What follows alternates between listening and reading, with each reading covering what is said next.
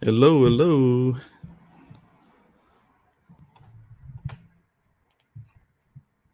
Hello, Ryan.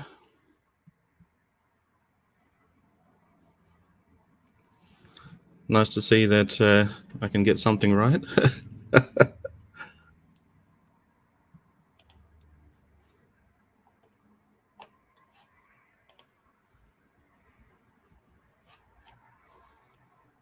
oh, perfect. Thanks, Ryan.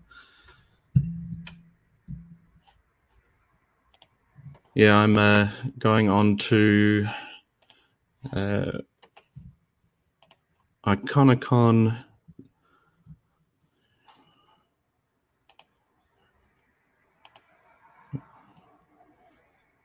I'm getting some feedback. One moment. Let me just turn this down. Yeah, I'm going onto Iconicon doing a live. So I figured I'd give it a shot, see how it goes, see if I have a successful mission. So far, so good.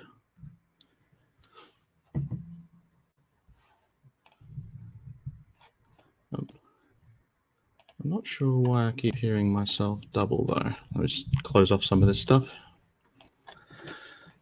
Anyway, I thought instead of showing off my uh, epic beard, I would just show off my icon.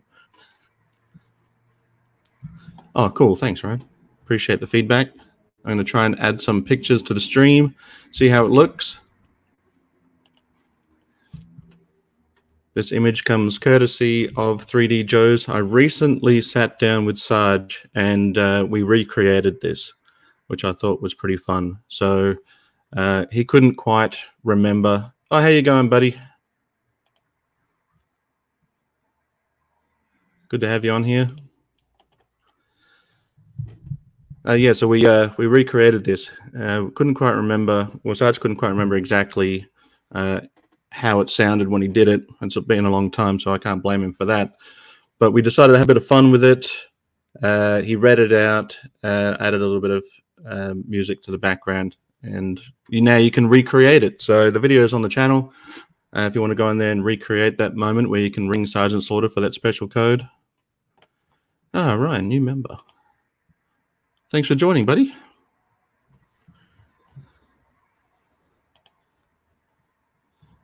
Yo, Joe, indeed.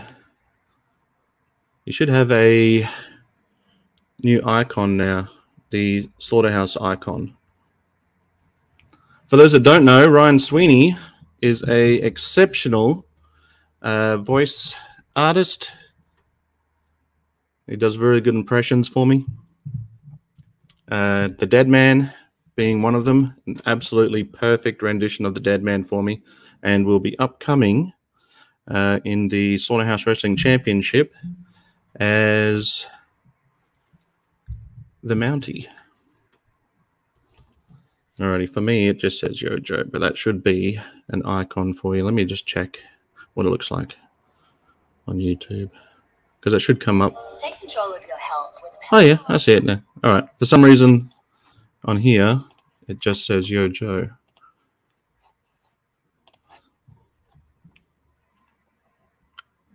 So what happens when I put that up on the screen for here? Hello, Justin. Sup? This is just a test, uh, just to see how it goes. Just having a muck around. So far, so good. So members, uh, Ryan's a new member. Justin is also a member. Uh, at the end, so we're almost coming up to the end of the end of the month, which means that next weekend on the fourth will be our first members only chat. Oh, here's Gaz. Gaz is also a member. So just a reminder to the members, uh, we will be having our members only live chat coming up next weekend. Looks like it's going to be the fourth uh, according to my calendar. Time zones are a bit weird, so uh, yeah, it is just a test, just in case. so, Justin, just for on when we go and do our members only recording, um, I will chat with with all the members and see if see if we want to record it um, and upload those videos onto YouTube, which I'm happy to do because I think that'll be a bit of fun. Uh, and Justin, I'd love it if you could um, show us live, if if possible, uh, on that weekend, your Epic Sarge collection. Uh, particularly because you've got the new Funskool one, which is not in bad condition, considering some of the ones you do see. I think it's just a little bit of paint wear, but um, yeah, we will definitely take a look at that if uh, if you don't mind, and then we can upload it at a later date if everyone wants to do so. Um, so everyone can check it out. Be that as it may, Justin, if you aren't interested in recording it and having it on YouTube, I'd be happy to upload your video onto this channel because it's it's an epic collection. The second best Sergeant Slaughter collection I've seen, mine being the first. yeah, so I've got uh, Iconicon video coming up. We're going to have uh, we're talking about wrestling, the '90s wrestling, uh, the Attitude Era. So uh, we'll be sitting down for that, and we'll be doing it live. So I thought just casually hang out at the moment. Uh, didn't expect anyone would jump on and say hi, so it's really good to see everyone jumping on here. Uh, as I was saying, uh, I caught up with Sarge last week with Kelly, and we were going through this and wanted just to find out if he recollected um, the original recording. And then it struck me that uh, it would be fun if we could recreate that moment. So people can listen to the video and uh, recreate that moment of when you uh, you rung the secret number or the bonus number for the secret code. Oh, cool. Justin's happy to show them off live. Excellent. Sounds good. So we've got three members now. We've got Ryan, Gaz, and Justin. Our first meetup, just uh, as a friendly reminder, will be um, coming up on the 4th. Because of the time zones, uh, for me, uh, I've decided to make it. I think I said 7:30 p.m. Eastern Standard Time. I could be wrong on that. I'll double check, but that'll make it uh, morning for me in Australia. So if you're if that's evening for you, that's good. It'll be morning for me, so I'll have coffee. Uh, another thing that I want to be doing for Iconicon is I'll be going through all the recent releases for Sergeant Slaughter, and I'll be doing a little bit of a talk on those. And I just sat down with Sarge recently to talk about every single action figure that's come out in recent years. So uh, the last year's reveals and releases, and everything that's coming up for this year as well. Ah, cool, guys. Sounds good. Hell yeah. Um, it might be a little bit early in the morning for a beer here, but it's Australia, so no one will judge me anyway if I do have a beer, right?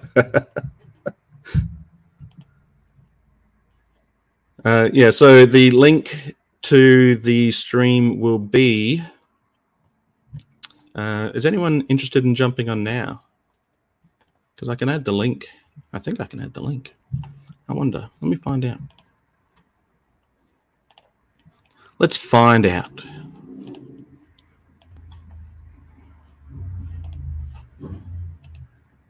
I'm not going to be on here for very long because this was just a test, but uh, there's a StreamYard link. See if that works. Jump onto onto this stream. Happy to have a chat. Happy to have a hangout for a little bit before lunch. It's 11:30 a.m. here, so yeah, hang out for about half an hour or so.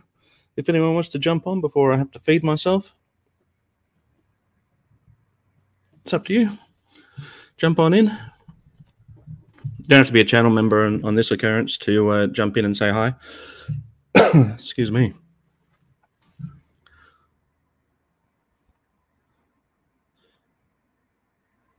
All right.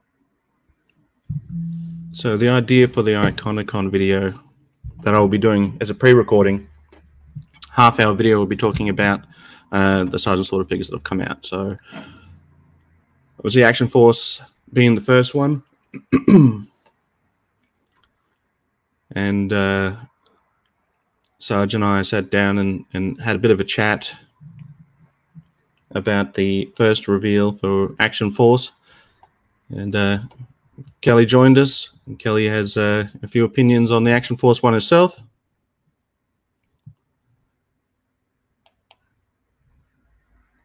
The epic Masters of the Universe version of Sergeant Slaughter, which for me is a personal favorite. I mean, it's hard to pick a favorite because of Sergeant Slaughter, right? I mean, they're all great.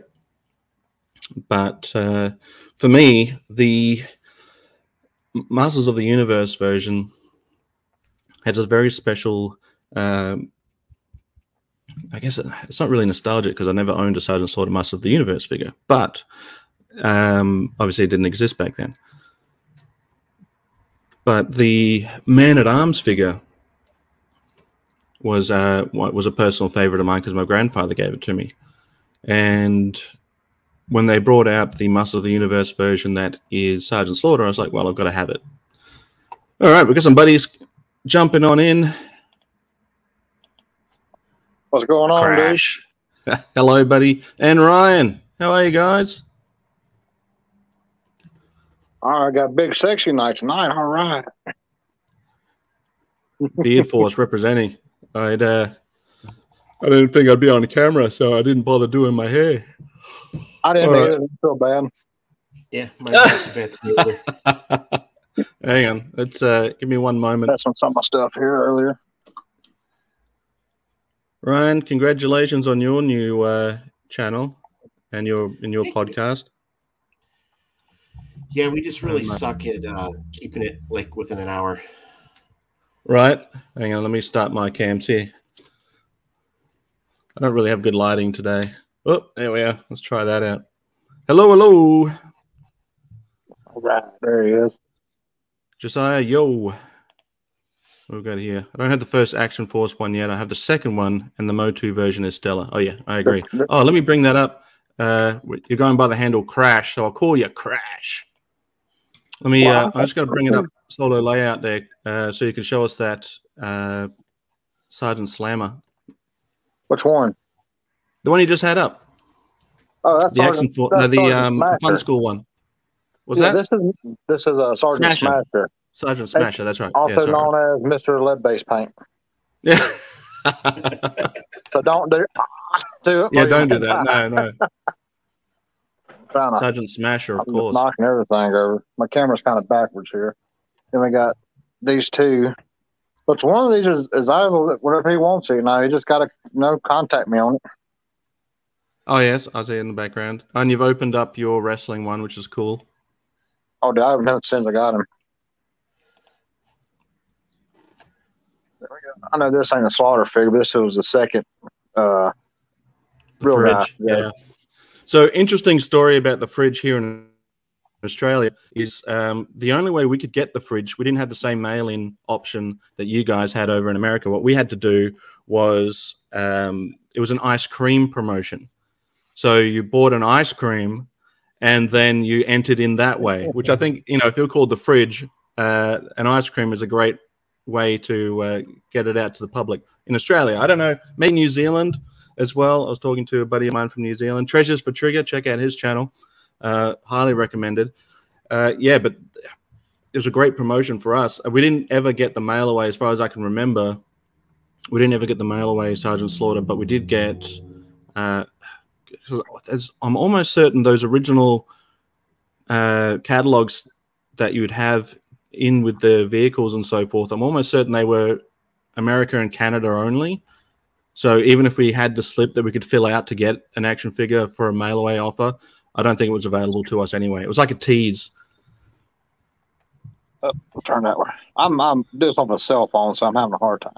I got it going on. That's all right, mate. Looks looks good to me. Yeah, I got Sergeant Slaughter autograph. I got all four of the original figures signed here. He signed him across the belly. And there's a little baton in there. oh yes, very good. There's the only one I missed baton to is the USA one. It has eluded me all these years. Yeah, there's slight variations to them as well, so they're not all the same. I wonder if Gaz is going to show up. Gaz, are you jumping in? I was going to say the Sarge was the first mail away figure I ever sent away from. And when I got it, I was just like, this is magic. And then the Triple T came out, and I'm like, okay, now I need that too.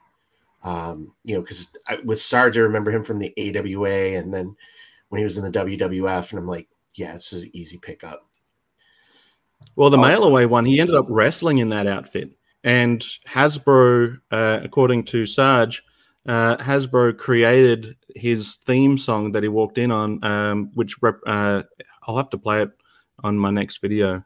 But it talks about Sergeant Slaughter being in GI Joe and all of that cool stuff as he's walking in to uh, to the stage, handing out uh, American flags and bringing all the kids onto the stage. That would have been a cool moment. Well, and I've I've heard that yeah. he made more money off of the GI Joe stuff than what he was doing with wrestling. It was, right. It was, he was like the one of the first wrestlers to actually sold his likeness or marketed his likeness. I mean, you know, Hogan never did that, but with the LJN figures. But Sarge was that crossover that was just huge for kids in the 80s. Yeah, right. Yeah, there wasn't much that he uh, that he, he was on lunch boxes. Uh, he was on. Oh, who we got? We got Gaz. Gaz is joining us. All right. I uh, I I want to 100 percent believe that that is Gaz's real face. What's up, guys? How are you, buddy? We were just talking about the mail away Sarge, which uh, very, very, I'm very, good. very similar. That is such an awesome figure right there. Figure. Is that off of me? I think it's off of me, right? What's that, yeah, buddy? Yeah, yeah, yeah. I can hear. I wonder if I can turn everyone's volume up. I'm wearing headphones, and uh, they're not the best, so. That's a good figure too. I'll got to tell you, when I was a kid, sorry, guys, I think did I mute you guys? Unmute. Did you mute yourself? Oh. No, I'm just getting. Maybe it's my mic. Can you guys hear me? Yeah, I can hear you. Yeah. I think it was my mic. I was oh, getting okay. massive feedback. So, to be honest, when uh, when I first encountered this version of Sarge, I was not a fan, uh, and and I think that was the point of it right? He was going away from being the real American hero to being a massive heel, like a massive heel, probably the biggest heel in a long time. Uh, and we've probably not seen one come as close as getting as much heat as the sympathizer Sarge got.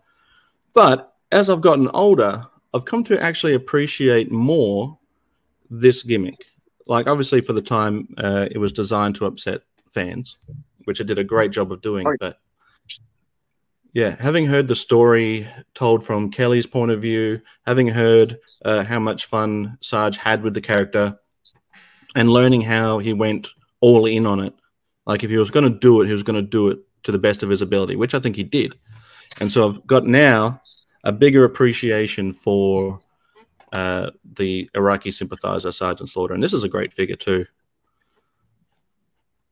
Did Sarge um, ever fan. say was he worried about taking this type of turn that character for for who he was, his gimmick, really?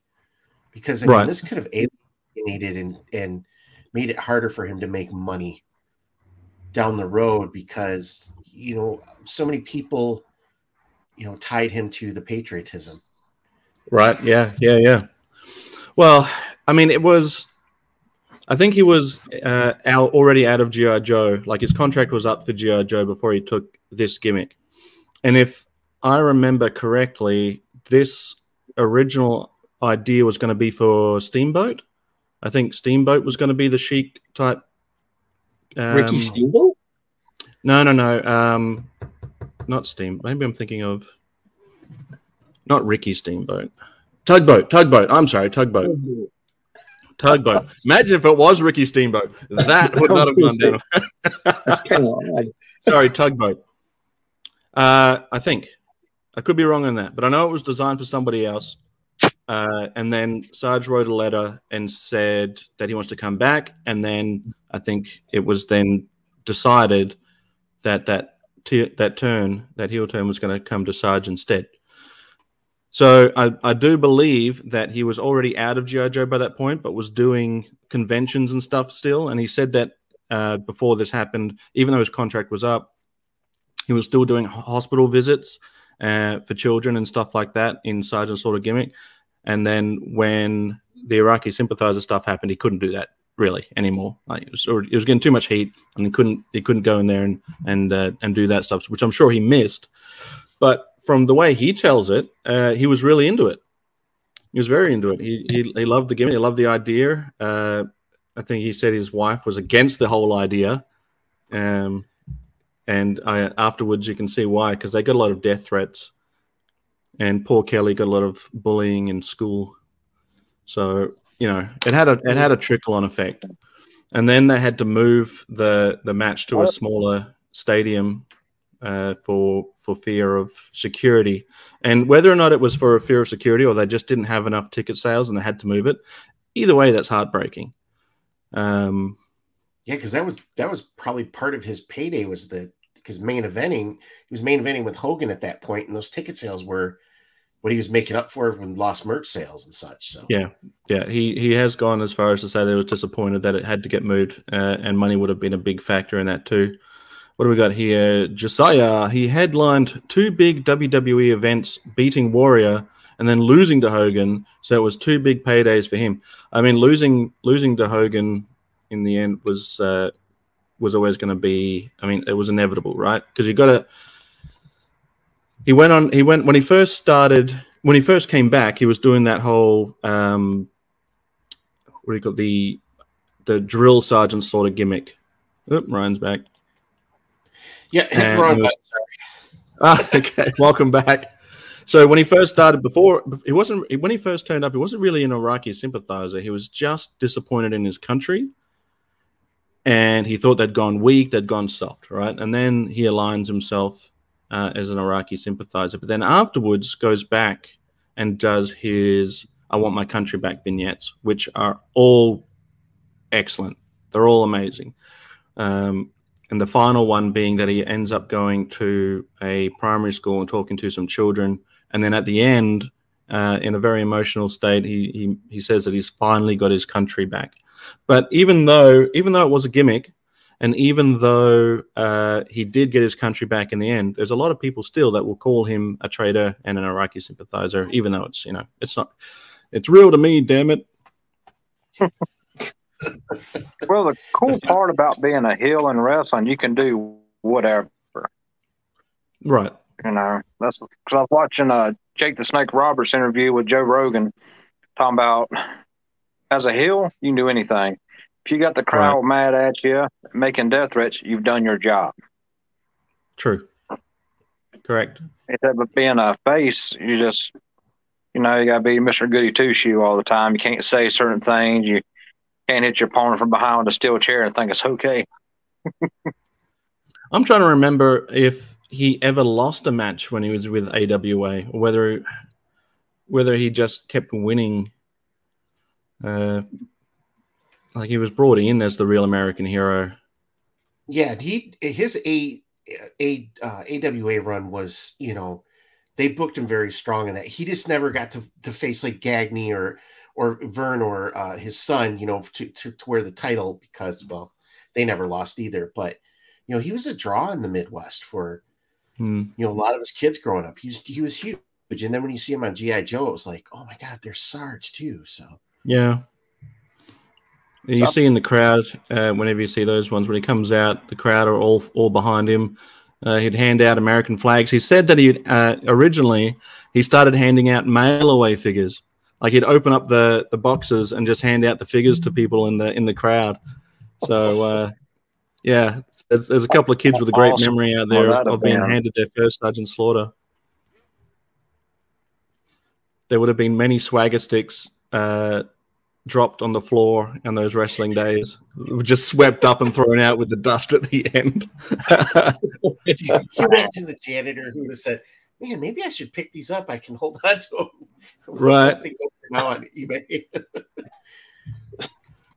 yeah. So, uh, you know. When there that I grew up in, I didn't have a Sergeant Slaughter figure. I was born in '89, so you know, Sergeant's done gone by then in the GI Joe. Right. And I didn't. I think I seen the GI Joe movie because my grandmother recorded on a VHS. And uh, kind of it's kind of sad growing up. Like, well, I can't find a Sarge figure on the shelf anywhere. I can find all these neon GI Joes. Yeah, right. so Marauders would have been the last one that would have been out. I think Marauders is an '89 figure, but obviously, if you're born in '89, you're not going to. By the time you're collecting action figures, um, and GI Joe in particular, what would have been like maybe five, six? So too young to be remember, playing with Joes? The first GI Joes I remember getting was the Hall of Fame Joes for Christmas. I got Cobra Commander and Duke. Right, right, right. Yeah, yeah. So you, you crash. You started collecting basically at the when it all pretty much ended. Like '94 was the last year for you know the, the main run of the Amer- real American hero. So, like I had Sergeant Savage growing up too, and I I'm probably one of the few people that actually like that figure because I have a childhood nostalgia about it. So Collector Express says, I'm hoping that we get a mail away styled variant of the upcoming classified Sergeant Slaughter. It would make a great retro carded style release. Uh, I 100% agree with you. Um, another thing that they could probably do is Marauders and then bring out uh, a whole bunch of Marauders classified figures. The problem with classified here in Australia is that I can't bloody find them anywhere. Most of my classified figures came from Ken from ToyKennections. Also, check out his channel too. Big fan. Big fan of Ken. Ken Ken's a good guy. I like chatting with him. He's a nice guy. Yeah, yeah, yeah. He's really cool. And not just because he's Canadian. All Canadians are nice guys, right? You need to watch him that show Bad Blood. I don't remember which one was Bad Blood.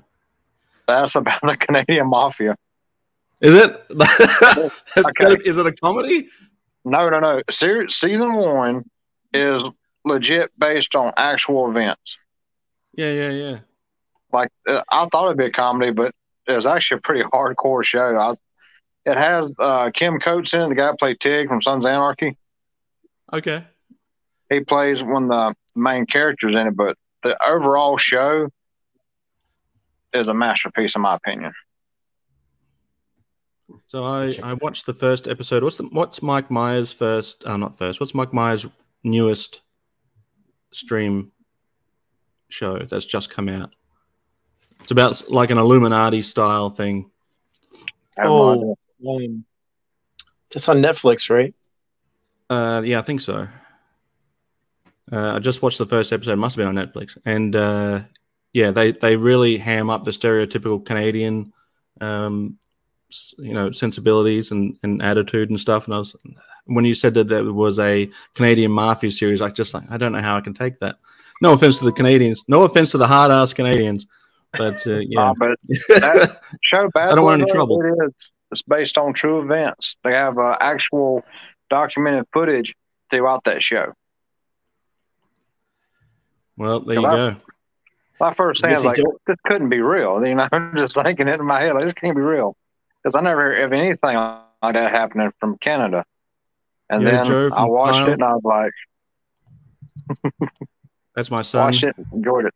Oh, cool. That's my boy. Yeah, as you know, he's a grown adult now. Uh, my my son's like four months old almost. Well, my, my both my older kids are in their twenties now. It makes me feel old. Uh, I've only got one teenager left. Hans Chow, no offense taken. Thanks, buddy. I appreciate it. You let us know how real. Hans. Hey, Hans. Let us know how real. How real is that show? The Bad Blood, is it? That's, that's oh, here we are. Pentaverate. That's the one. The Pentaverate. They they lean very heavy on the stereotypical Canadian way, and uh, uh, yeah, I thought it was funny. The show I've been just started watching is Letterkenny Uh because Shoresy starts here, I think tomorrow. So those are both Canadian based shows. They're pretty funny. Okay, cool. I gotta I gotta watch more Canadian things that aren't just spoofs. So this let's move on to I can say that if you're having problems get classified, let me know. I'll help you out too. So oh cheers, buddy. Uh yeah, they are almost impossible to find here. Josiah has said that thing where the head of the Aussie Mafia kids were in a kitchen nightmare was funny. Uh, that's uh, I'm not sure what that reference. Kitchen Nightmare. I don't. I don't watch oh, that. I got my own. anytime I'm in the kitchen is a nightmare. So I uh, I can't I can't even uh, make two minute noodles right. I give it a good go though. So yeah, the um, the classified stuff I can't get. I can't really get. We had an abundance of the um, that Destro, Goldhead Destro. Oh, Pendai uh, Destro. right. Yeah. They they showed up everywhere here, but the newer stuff, particularly, and the thing is, here we go. Hans Chow. Hardyberg to you both.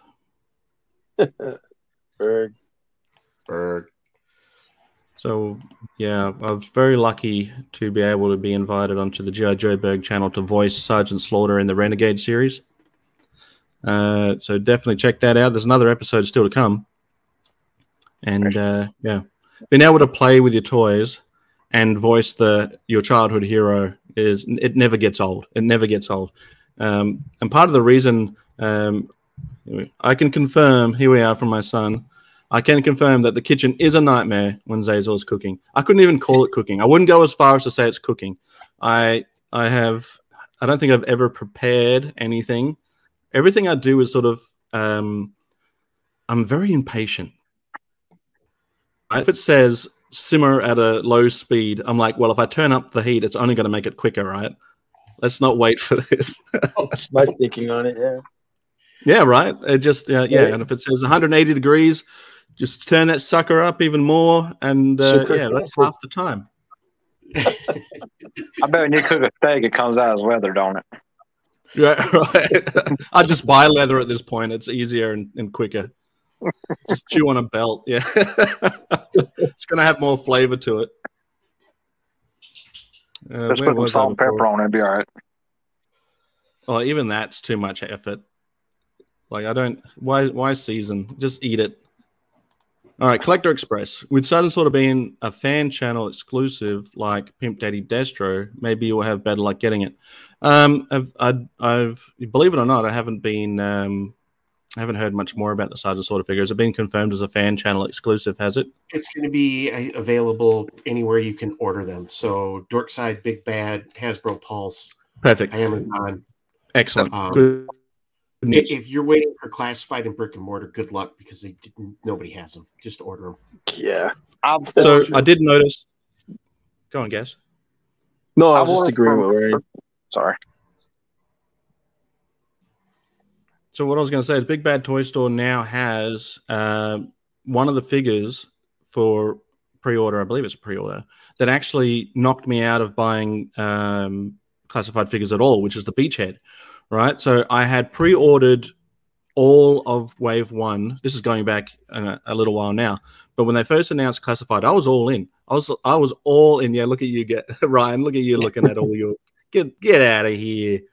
So when um when they announced it, I was like, "Yep, I'm gonna get. I'm all in on this." You what?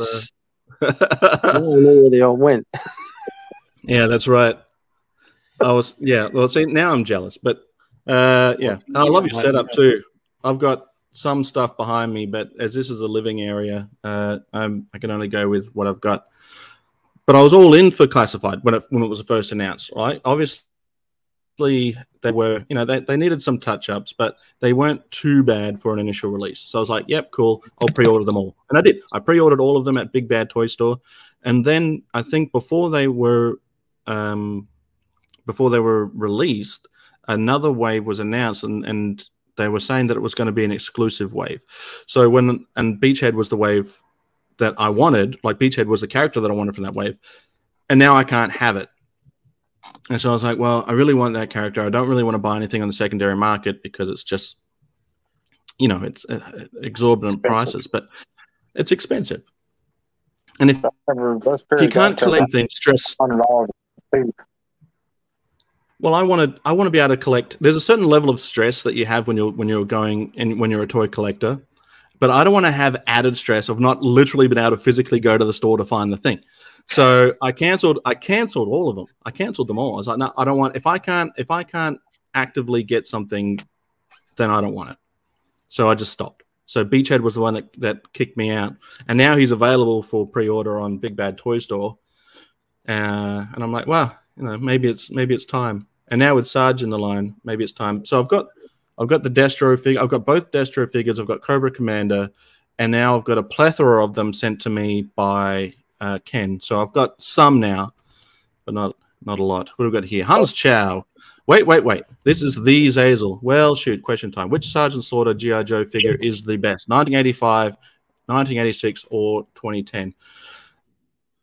Um, well, I will say that I'll knock 2010 off the list. I like modern era GI Joe, I guess, to a point. I was all in on the on the 25th anniversary and the modern era stuff. I was all in on those, but they didn't quite have the um, the same nostalgic feeling that I had for GI Joe. So I ended up selling all of them off. So I'll knock the 2010 version off. But as far as the mail away or the triple T Sarge goes, it's a tricky one because they both they're both iconic in their own rights. Um, the you the triple T Sarge is the one that's most accurate to the cartoon, so you've got that. Uh, but then the USA one was like he was literally a real life GI Joe. You know what? I'm just going to go for it and say USA shirt. There's a long way to go around saying USA, and I guess the only reason why is because as much as I love all of them, the USA one, he he he promoted GI Joe wearing that outfit. He wrestled in that outfit, and I think even in the bumpers for GI Joe, he was wearing that outfit, right? So when he was doing the live action segments of GI Joe, he was wearing that outfit. So to have yeah. to have that outfit in action figure form, uh, it's sad that we didn't see it in animation, other than the commercial for it. Uh, I'll go. Hans, want to weigh in on that? Hans Chow, what's yours?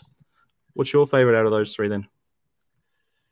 And guys, let's hear yours as well. While while you think about that, I'll just read out this comment from Josiah. The head of the Sydney Mafia left his grandkid half a million, and the father stole it to open a horrible restaurant that was featured on oh right, featured on Gordon Ramsay's TV show for failing restaurants. Uh, uh, yeah, it sounds like it was doomed from the start. I'm about to Google that. That sounds like an interesting story to read. It does. It does. Imagine Gordon Ramsay being in that. Don't you? Yeah. Anyway, I won't do my impression of Gordon Ramsay. So who do we who do we pick, guys? Let's go round table moment. I've picked the USA mail away Sergeant Slaughter is, is top tier of the out of those. Who are we going with? I'd, I'd go with the the triple T, triple T Sarge. Yeah, it's the one I got cool. for for Christmas. I think when I was a kid. So yeah. Yep. Fair enough. Ryan? Mine's the 85. It was the first mail away figure. It was Sergeant Slaughter from wrestling. It was, you know, it was, it, I was at, I think like barely nine or 10, 86. So, you know, 85. It was just the perfect time. So he's my favorite. All right. Last but not least, you're going to have to either make a tie or just knock Triple T out of the, out of the play here. so who we going? I'm, I'm going to go with uh, USA because when I first got really hardcore collecting, that was the first Sarge I had. Right. So, full disclosure, I didn't actually own. What's that? That was a tough one because you know because I like all four of them. Yeah, but, yeah. Uh, like, like, I said, the nostalgia part is going to be USA one. That's like the first one I got, and the first one I ever got was a beater. So we, uh, let me just read this. I've got a few comments to get through. Dude, I love GI Joe, but I'm hating classified. Have Beachhead open, uh, 100% uh, complete there. Pay shipping from the states, and here's yours. Oh, thanks, mate. Uh, I might take you up on that offer one day. I've got. I'm going to vote for USA.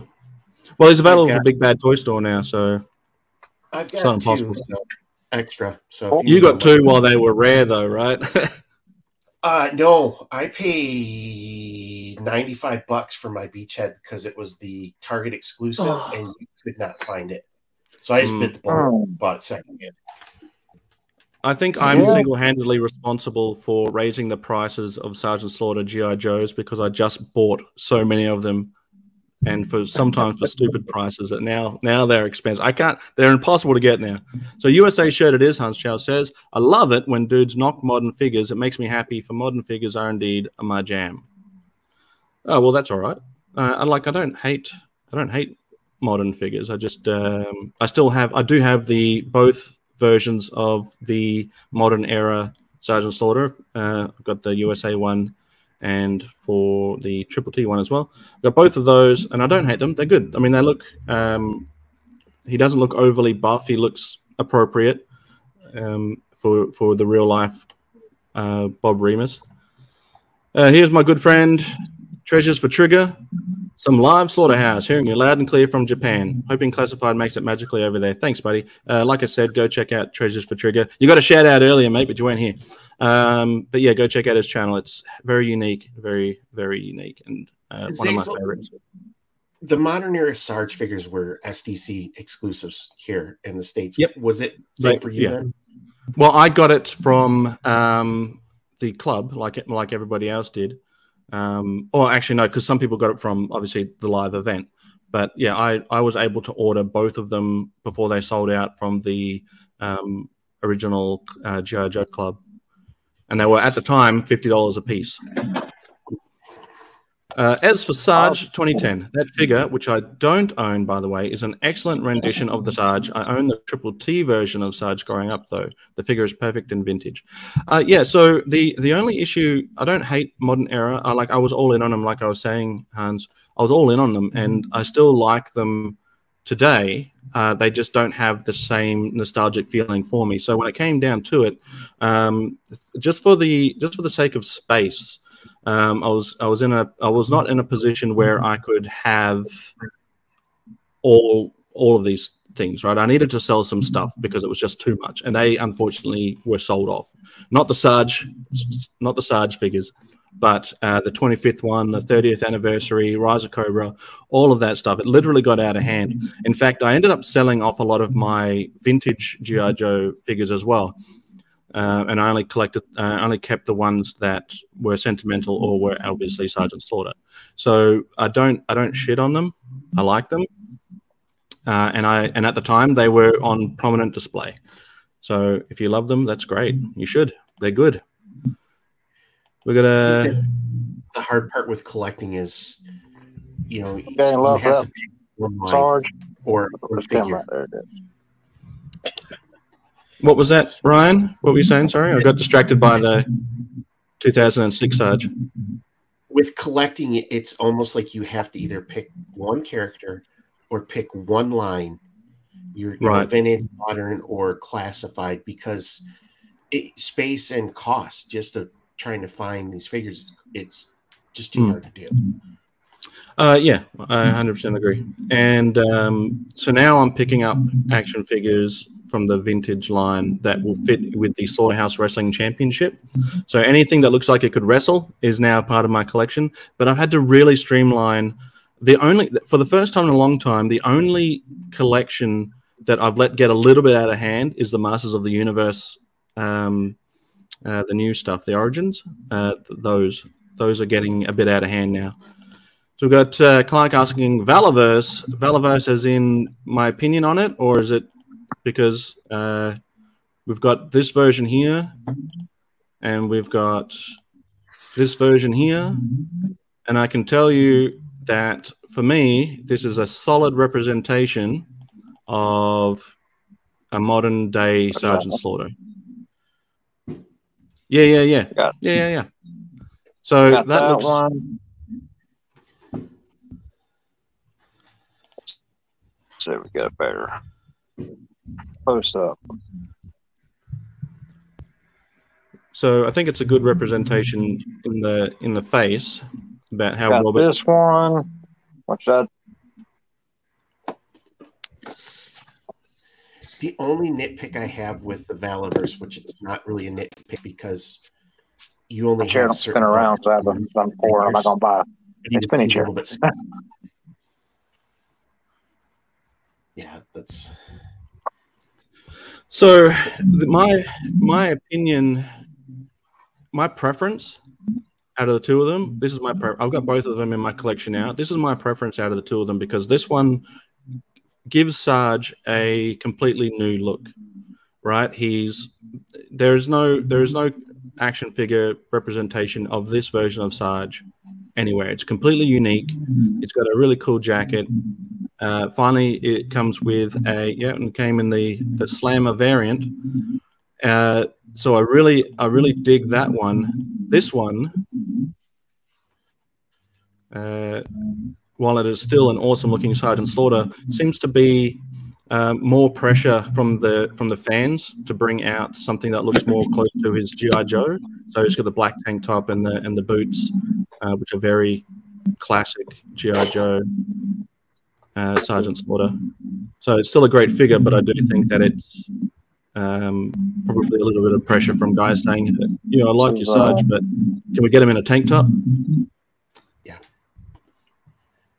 Well, especially uh, too when folks thought they could just kit bash between him and Carrick so that they could get right. that, you know, the the the tank top for Sarge. Right.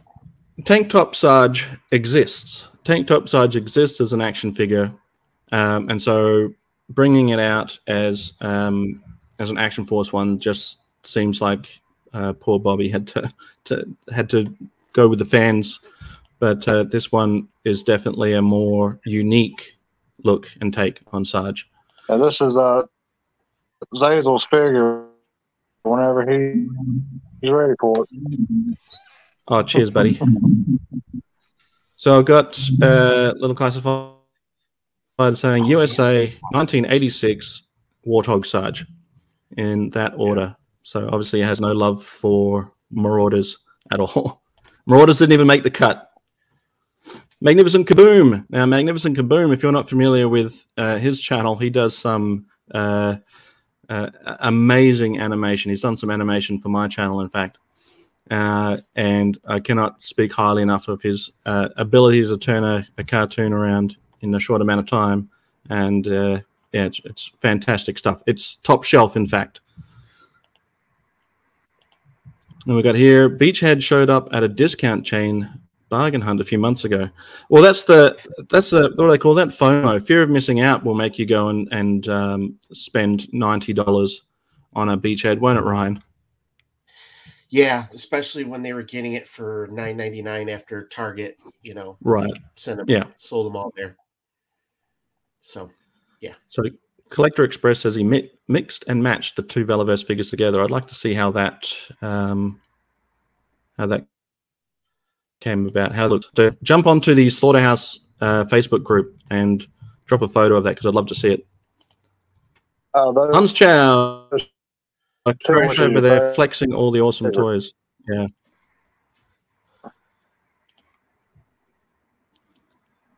Yeah, yeah, yeah. He does have uh he's huge collection of Sergeant Slaughter signed stuff. Um so I've uh yeah, I'm a big fan of your collection.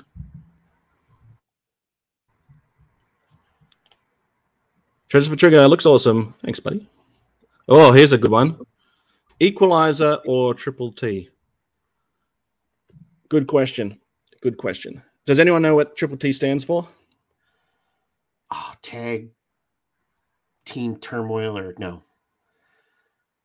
Close. Oh. Very close. It's something tag team, right? Right. Yeah, yeah, yeah. Oh, you covered this. That's the worst part. if anyone has, I have.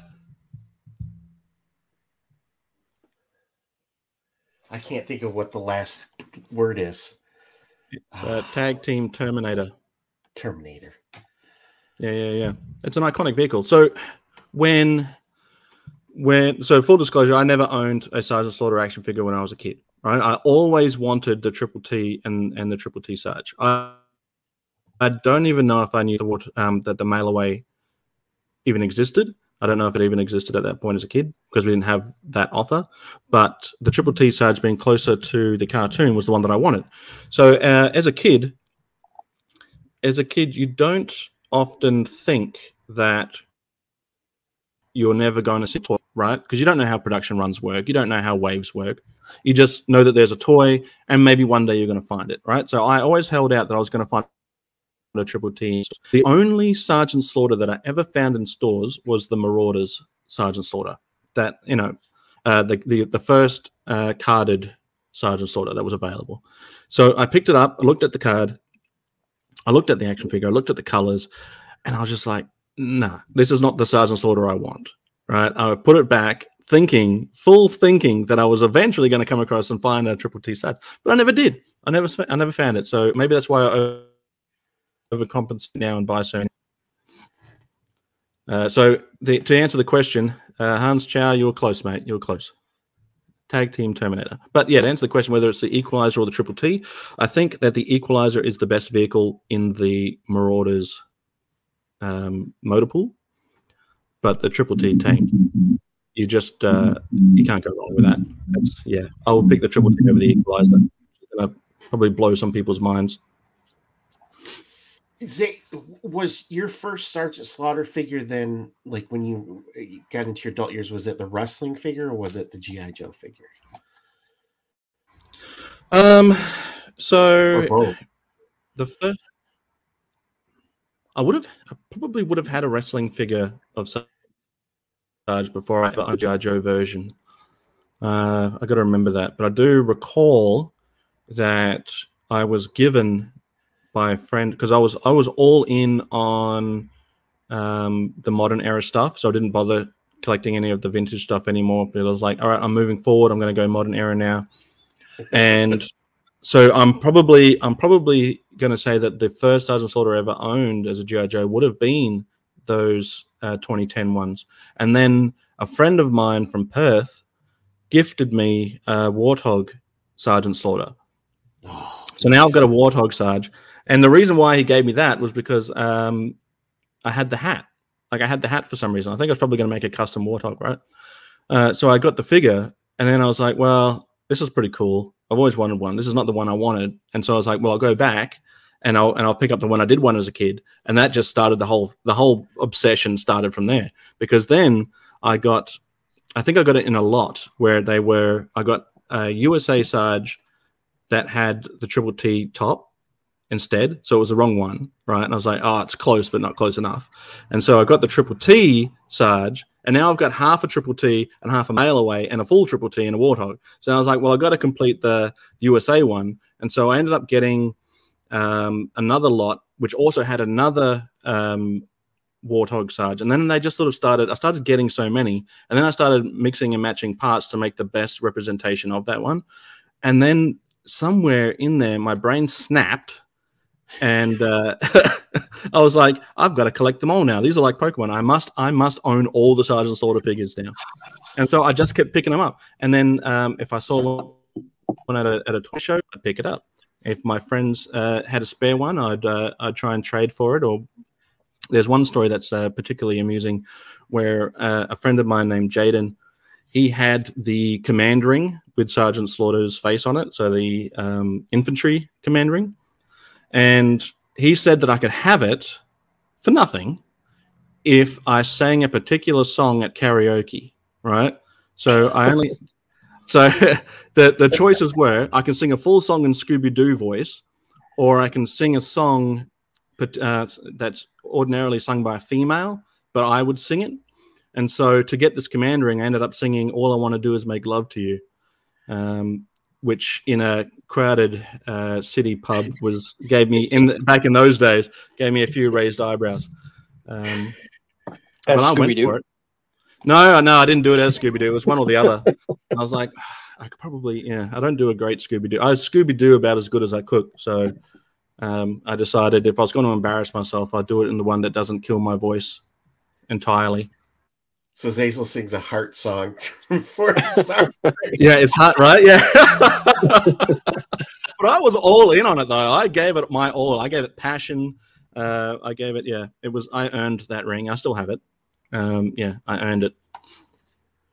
Uh, little classified says Marauders plastic is a little more bit, little bit more credible opinion. Questionable, yes. Uh, the way I put it is, it's like ma- uh, supermarket mannequin plastic. Yeah. Like it looks like a supermarket mannequin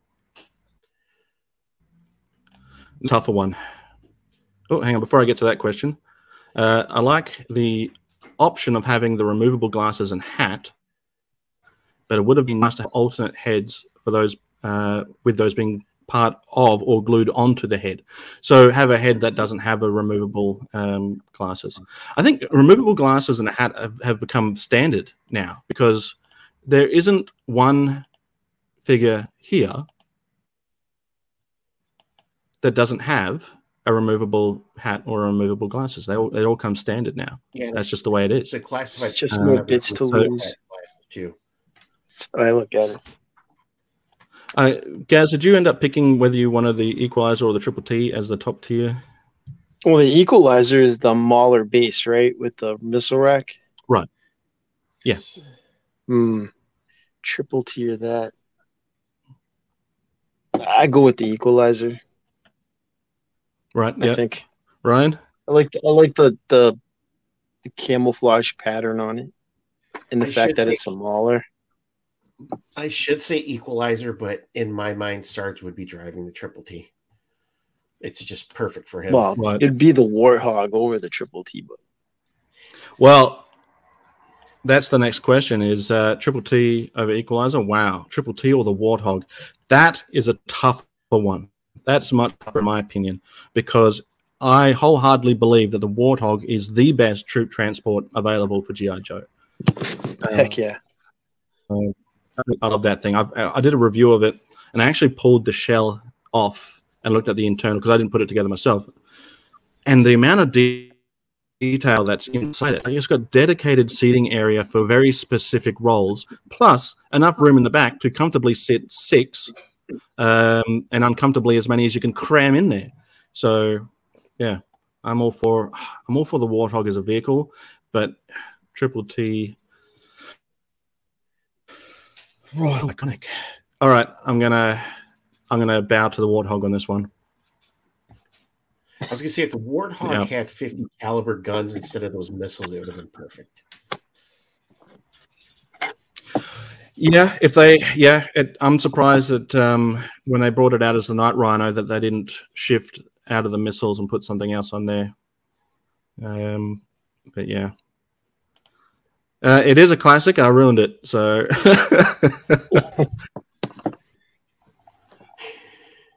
Build and Brawl Sergeant Slaughter. I love that figure. So that that that was a really difficult figure to find, and I think it was because both wrestling and GI Joe fans wanted that because it was close enough in scale for modern era. Um, so sorry, did everyone did everyone shout out there? I got distracted by uh, Build and Brawl, but did everyone pick a, a winner out of this one? I'm going Warthog. Warthog. Warthog. Is it Warthog across the board?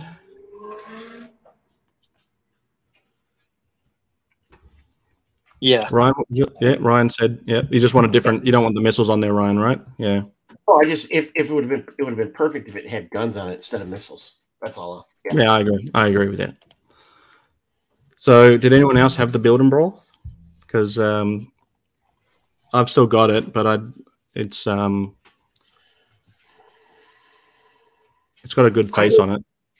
I know people preferred that build and brawl Sarge is a nice replacement. My son actually had the Undertaker. Yeah, right. And I think Stone Cold and they were for this you know four inch size figures they were they were uh, awesome they were just amazing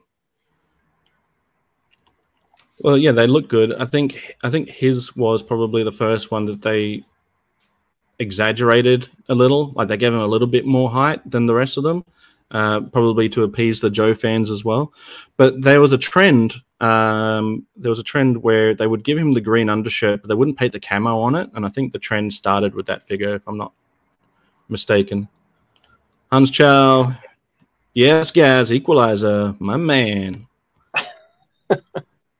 like they're all great. Like I don't make me choose Hans Chow. Hans is bringing all the tough questions. Collector Express. I used a vintage Hasbro head that has the hat and glasses as part of the head for my custom. I have seen that. I have seen that. Um, that is a great custom. Classified Sarge. I was amazed at how well that old head looked on the classified body. Yeah, it's um, that's the Hasbro WWF figure, and that head does look amazing. That custom is on point. It's um yeah, I'm almost tempted to knock a head off of one of mine and do the same thing. But now that we have one coming, I don't have to. but that is a great figure. Um, yeah.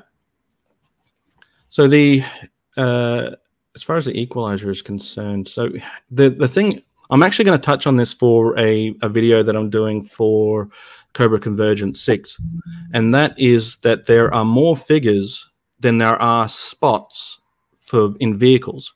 So there's always one figure that doesn't have a seat. And if you look at the um, the pictures, you've I think the one person that misses out is barbecue. I think barbecue doesn't get a seat in any of the box art. But uh, that is rectified, believe it or not, and I will show you how. Um, well, you're asking the wrong guy, buddy, because Sergeant Slaughter all the way. But let's hear from let's hear from some people who aren't biased. oh, Sarge right. beats Serpentor. Serpentor beats Storm Shadow. So we all know that Sarge beats Storm Shadow. Just yeah. simple. Sarge doesn't do the job to ninjas. Just get over it. I don't know. I'm a pretty big ninja fan. Yeah, yeah. I can tell by the headband. but uh because I'm because I'm here, I'm just gonna say Sergeant Slaughter. So a fight, by the way, that I don't think we've ever seen. True, uh, I don't think we ever will. But so, I guess it depends on. It's it's weird. It's weird because I want to just say Sarge beats everyone, but who could who could who could beat? I mean, even Nemesis and Enforcer gave it a good go, but he cheated. Right, he threw something in his face. Uh, he used a foreign object, right? so the Snake Chucker beat Storm Shadow. Uh, is that in the comics? Well, no, just Serpentor is the you know the amalgamation of you know all these great leaders, and he was always portrayed right. to be the strongest Cobra. So you know he's going to beat Storm Shadow. Plus, in the comic mm. book, his DNA did come from Storm Shadow, so he should be able to beat oh, Storm oh, Shadow. Then. I did not know that. Yeah, yeah in the cartoon, it was Sarge that was supposed to give him the DNA, but in the uh, comic book run, it was it was uh, Mindbender used Storm Shadow's DNA. Well, there you go. I need to catch up on my comics. Um, I wasn't even aware that they still so they still created him like they did in the cartoon, but in a different fashion. Yes, but Ser- Serpentor in the cart in the cartoon was completely different than the comic. Comic, he was more likable. He was more of a a leader that the Cobra, um, off, you know, the Vipers and the the uh, soldiers would want to follow, compared to the buffoon that he was in the cartoon. Right. Well, but he did get killed if... by an arrow shot by Zartan, so if that's true, then Zartan can beat Storm Shadow too. So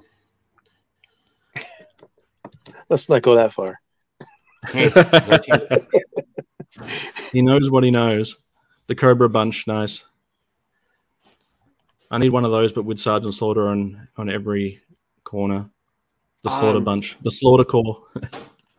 oh shoot! Um, I got this off the the website you can order your stickers from. Uh, Slaughterhouse Wrestling oh, chips. Um, yeah, the Slaughterhouse. Yeah, yeah. yeah, this is where I found these. You can upload designs. Yeah, T, uh, maybe it is TeePublic. You can upload well, designs. Public and uh, there's two T TeePublic and what's the other one? Teespring. Teespring. Yeah, that, that's what I thought it was. Hmm. So I got it with with my uh, Skeletron stuff. Oh right. Well, if anyone wants to wear an official Slaughterhouse T-shirt, they are available on Teespring and uh, TeePublic. Uh, get yourself a Slaughterhouse mug and or sticker. Um, oh, here we go. Sergeant Slaughter versus GI Bro. who's GI Bro? Uh, I'm not sure. GI, GI would go on to five time war. Who's GI Bro? GI Bro is Booker T. Oh, is it? Yep. That was his uh, wrestling gimmick in Houston. before Booker T or after? Oh, no, way yeah. before Booker T. Or way before Booker T and WCW. Yeah, right. Okay. Well, we're learning something today. Josiah, also a fountain of knowledge by the looks of it. Uh, Sergeant is Prime would win that one though, if it was out of those two. according to Hans Chow. I'm going to have to look that up because uh, I didn't even know that he went by that gimmick as GI Bro, which you would think as as three GI Bros sitting right here that that would be something that uh, we we would be aware of. But uh, I do I do know Booker T, but I do not know GI Bro. Very interesting. Sorry, I have a wealth of wrestling knowledge that's you know just a waste. I think most of the time. Oh, mate, wrestling knowledge is never a waste. I will say you do an amazing uh, impression of the Dead Man and also the Mountie. So those two. Oh, here we are. Favorite Sarge wrestling match. I think I think one that goes. This is not this is not necessarily a favorite, but one that I've come to appreciate is his boot camp match with Triple H. So as much as he's he's obviously later on in years, but I think I know that I know that Sarge ends up um, coming back to the ring a few times after that, but um, sparingly. And he was commissioner at the time. But the thing about that match is that it's a very um, it's a it really it touches on a lot of classic Sarge wrestling um, staples, right? So he does the Cobra Clutch. He he takes a bump on the top turnbuckle or on the ring post, and then flies over the top rope. You know, he does. So he he touches on uh, some of those classic Sarge moments that you probably hadn't seen in a while, and shows that he's still got it, right? Um, but I think it was a respectful send off and a passing of the torch to Triple H because it really helped elevate Triple H. Chyna was in there as well. I've got a new. I've always been a fan of Chyna, but I've got. I've, I've gone back and, and found more appreciation for her and what she brought to um, the WWF slash WWE at the time. And I wasn't even really a big fan of Triple H back then either. Um, but I've come to appreciate him more as a wrestler and that whole D-Generation X um, you know that whole that whole time with, with the Attitude Era as well.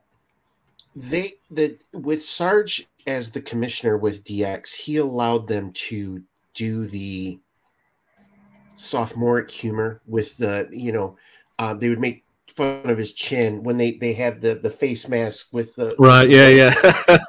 Yeah you know, that's great. he, he helped them get over to that generation of wrestling fans which at that point was me because it was it was funny. And it was that right. spitting in the eye of the authority figure. Um, so it was yep. it, yeah, absolutely. Yeah. It just shows I mean I, I, I guess you don't have an appreciation of, of what Sarge has been able to do until really I saw your channel, you know, and you started posting some of those old matches. My favorite is uh, when he faced uh, Pat Patterson Yes. yep. At Street Fight, and that was a street fight before they did street fights. Yeah. And it was just an amazing match. Yeah, yeah. There's a lot of blood, sweat, and tears that went into that one. Um, particularly blood. But you know, what about you, Gazz? Have you got a have you got a favorite? Um, Nemesis Enforcer. yeah, Nemesis Nemesis Enforcer. no, uh, I saw one way back when I was a kid, and uh, the Worcester Auditorium, and I think he fought Pat Patterson there. Yeah, that was a yeah. long time ago. My stepfather taking me, so I'd say go with that. It's like the only time I actually saw him live, so I don't remember much of it because I was just a little kid, but that would be it. Still pretty cool. So the, the he ended up having to drop the Cobra Clutch because of the Million Dollar Man had his Million Dollar Dream, which was the same move essentially. So he went on to use the Camel Clutch. Uh, we got it. We got it here. Just googled it and saw this headline: Booker T sues Activision and Blizzard for jacking GI Bro character. Well, don't jack anyone uh, unless you expect to get uh, sued. GI Bro. GI bro. You would think, yeah. Yeah, okay. The Sarge was really a Midwestern Territory guy. We didn't see much of his prime. In real life, Briscoe was the toughest stooge. No, Pat Patterson was. Briscoe was a tough dude, but if you really saw what Pat Patterson did in his his youth and knowing what he went through, Pat Patterson was was way tougher than Briscoe. Briscoe brothers as a as a tag team, yes, two of the toughest guys out there, but Pat Patterson was was a pretty tough guy for what he had to put up with. I only just found out recently that Owen Hart was the original British Bulldog.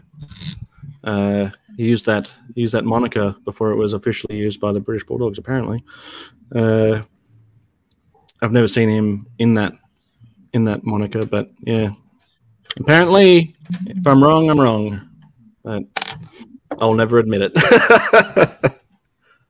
Jazwares just uh, released some images of Owen Hart figures. They have the signed a contract with, with Martha uh, to oh, produce okay. Owen Hart figures, and they're starting out with some of his uh, Stampede wrestling figures.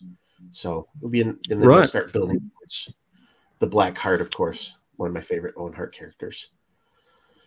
Well, I've only just started to um, look into some of Bret Hart's, not Bret Hart, sorry, Owen Hart's uh, earlier days. So I've got a lot of catching up to do. Um, the Blue Blazer being a fan favorite, which I believe at the time was was pretty much laughed off. But I think he I think he committed to it that eventually the the crowd you know they came they came around. Um, but with the next episode of the Slaughterhouse Wrestling Championship going to Canada, uh, with the Hitman versus the Mountie if you haven't checked out the if you haven't checked out the Slaughterhouse Wrestling Championship, it's on the it's on the main page of this Slaughterhouse um, channel, this very channel that you're watching on right now. Uh, so go check it out because we've got the original first episode was Sergeant Slaughter versus Nemesis Enforcer. Um, the second one was the Macho Monkey Wrench versus Vega the Snake. After that, I believe it was um, who did I have there? Blanka versus Taurus and then just recently had the British Bulldog versus Kano the Warlord.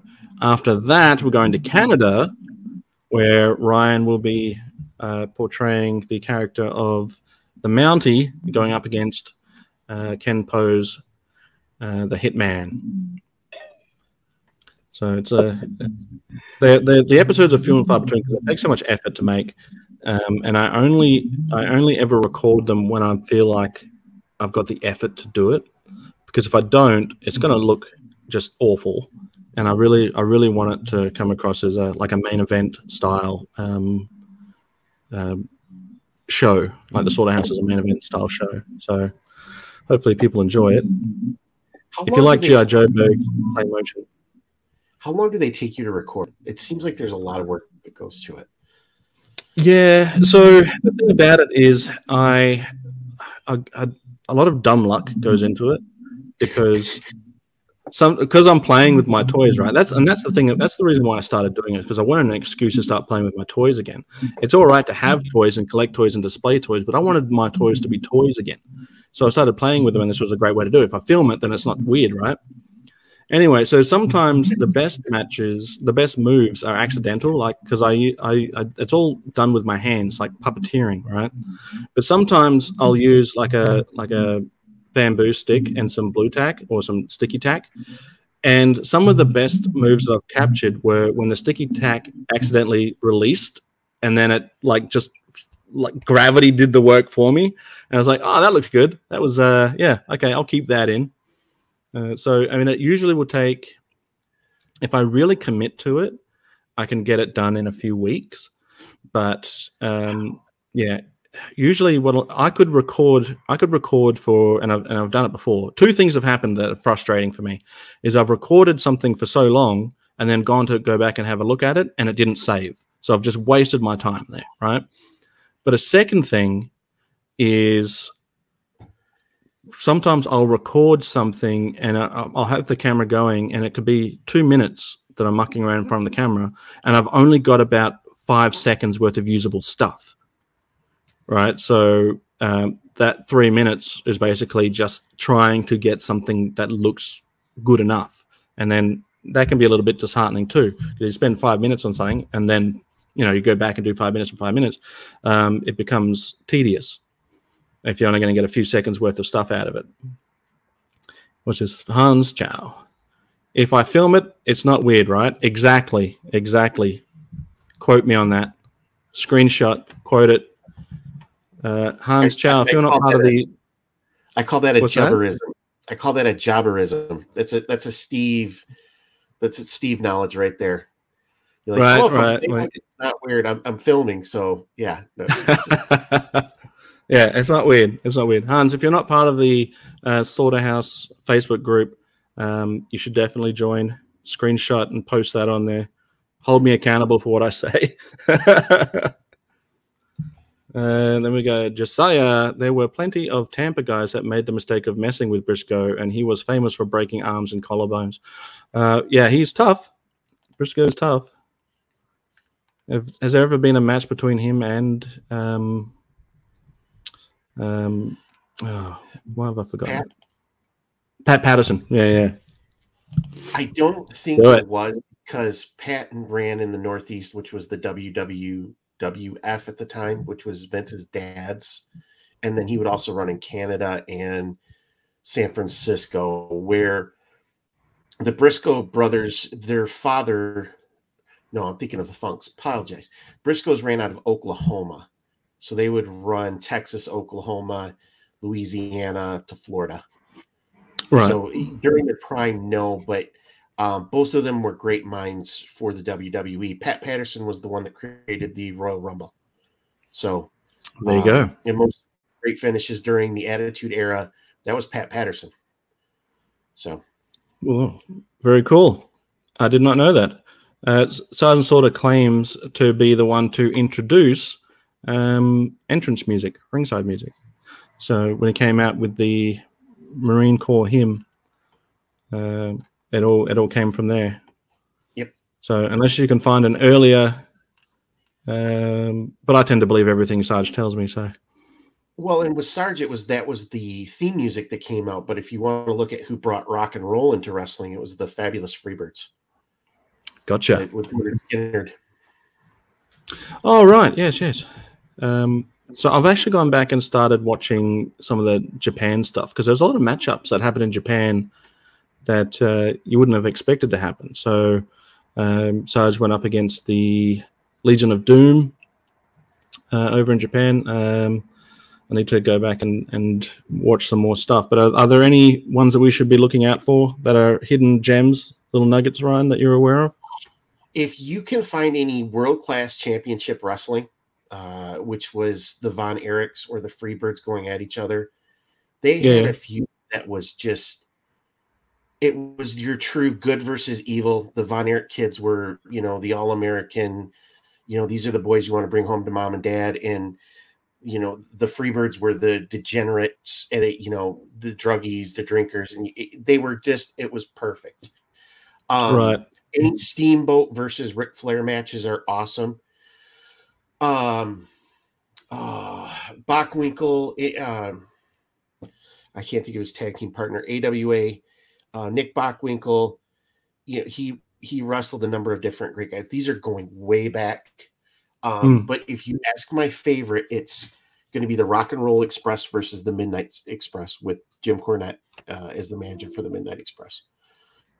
I saw an image for that a few weeks ago. Um, so you've just reminded me to go and and uh, go and find that match and give it a watch.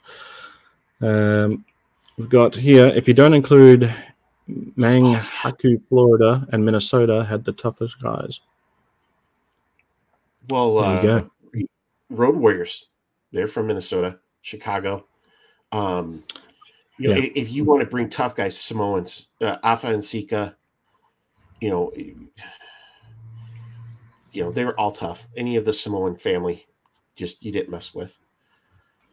As comic as a comic book fan in the 80s and 90s, the tag team and and being an Australian, the tag team uh, Road Warriors slash Legion of Doom, you couldn't get any better than that, right? As a as a nineties, eighties, nineties kid, because it sort of blurred the lines between um, wrestling and uh, superhero sort of that look, that that whole outlandish outfit. Uh, here we go. uh, do you have a favorite SWC match that you filmed? I am keen for the Mountie and Hitman episode. SWC being the Slaughterhouse Wrestling Championship. Thanks for the shout out. Uh, little classified. Uh, she's a member of the Patreon. So if you're not a member of the Patreon, jump on there. Uh, so SWC match. Do I have a favorite SWC match that I filmed? I find that um, I kind of I like and and and dislike everyone for different reasons because I because I had to put effort into them. I think the one the, the no brainer was always going to be Sergeant Slaughter versus Nemesis Enforcer. Um, I had to do that as the first one. I think the audio quality on because I I didn't have a very good microphone. I was recording everything. I record. I, I literally this phone is what I film everything on. I film everything on this phone, except for what I'm filming now here live. But when I'm doing the SWC, I do everything from my phone. I edit on my phone, I upload from my phone. And um, at the time, I was recording the audio off my phone too. So the audio can be pretty bad between um, different episodes. Like it's not consistent at all. I think the last one was probably the best one as far as audio is concerned. But I, I just, I have a love for the Macho Monkey Wrench character he's just he's just so like he's I don't know he's such a lovable idiot that um, I enjoy I enjoy him. Whenever he's on there I enjoy him. So that's my favorite. Um but I am changed to King Macho Monkey Wrench I was Macho Macho King yeah. It's Macho yes. King Cobra. Yeah. Yeah Macho King Cobra. Yeah I was blown yeah. I'm like this is perfect. Yeah. This is just absolutely perfect. So I knew that I was going to do an homage to. Um, so full disclosure, uh, most of the time I don't know who's going to win. So it usually sometimes sometimes in the moment something will happen, and who I thought was going to win isn't going to win anymore. So with the Sarge versus Nemesis Enforcer, I went in there thinking, oh, imagine if Nemesis Enforcer won. That'd really blow some minds. Sarge loses his own tournament. And then it got into it, and I was like, nah, Sarge will win this one. And then I just couldn't do it. I just couldn't bring myself to do it. And then um, with the, I wanted to do an homage for the Macho Man versus Jake the Snake little thing that they had with the snake that comes to the ring and he bites him on his bicep and all that, right? So I wanted to touch on that, but I wanted to use Vega because he has the snake tattoo wrapped around him. And instead of having an actual snake or a cobra in the ring, it was poison tipped claws. And then I thought, um, that if if he was poisoned, how did that affect him mentally? And so now he goes around calling himself Macho King Cobra. He's wearing the outfit from Serpentor. Uh, so he's got the big cobra head on. I was like, yeah, yeah, that'll do. That'll do. But yeah, that one's my favorite. Gazz, have you seen the Slaughterhouse Wrestling Championship? Yeah, I have. I have. Enjoyed them mostly. As the um the the one where you had Sarge versus Sarge, the different Sarges. That was my favorite. Oh yeah, th- that was a uh, a comic series that I did called the WWO, which is World Ring World Wrestling O Ring, and it's still images that I that I that I made, and I had all the Sarges go up against each other in that. So every every issue that I did, it was originally just um, pictures I put music to and put on the channel later but every at the end of every issue, a new Sarge would walk in. So at the end of the first one, Sarge walks in, and then there's a Sarge versus Sarge match. At the end of the Sarge versus Sarge match, and a third Sergeant Slaughter walks in, and so the next one, the next issue was um, a triple threat match, and then it just kept going. And then at the very end, there's um, just every single different variant of Sergeant Slaughter I had, including international variants, jump in this giant Royal Rumble. so yeah, uh, check. That's like yeah. I was just taking photos. I didn't. I didn't. Uh, and that I did actually film that decades ago, like when I first started um, hoarding Sergeant Slaughters. So it was the pre Slaughterhouse Wrestling Championship. Um, before I knew I could record playing with my toys and wouldn't get judged too harshly. Modern wrestling versus classic wrestling. Uh, get out of here, Hans Chow. Classic, you know it is. All the classic stuff, unless uh, Got any pushback on that, guys? Ryan, Gazz? No, it's it's classic for me. you believed. You believed right. in yeah. the wrestlers. It wasn't a character; it was a gimmick. Um, yeah, yeah. You know, people believe Sergeant Slaughter turned against America. People believe that yeah. still to this day. You don't see that now. No. Uh, you get canceled today for any of that stuff that happened back then. Uh, guys, have you got a? I, I, I like the classic stuff, but um, I'm watching AEW. I just I just have fun watching it. I just think it's. Oh yeah, it's not bad stuff. It's good stuff. Um, Ken actually started sending me uh, clips and links to it, so uh, I'm enjoying what I am seeing. Uh, I think it's actually starting to sort of coming back to some of that that classic um, sensibilities. Oh, good. All right. Yeah, yeah, yeah. It's good. I don't know that that sweaty brow. that might be a heel turn. but yeah, look, if if you enjoy current uh, modern wrestling, then go for it. I think the last good wrestling for me that I was actually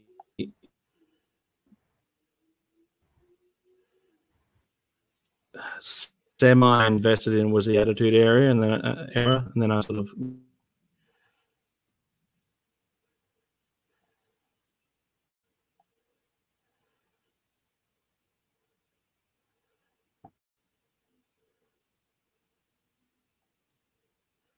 Oh, we lost these. Uh oh.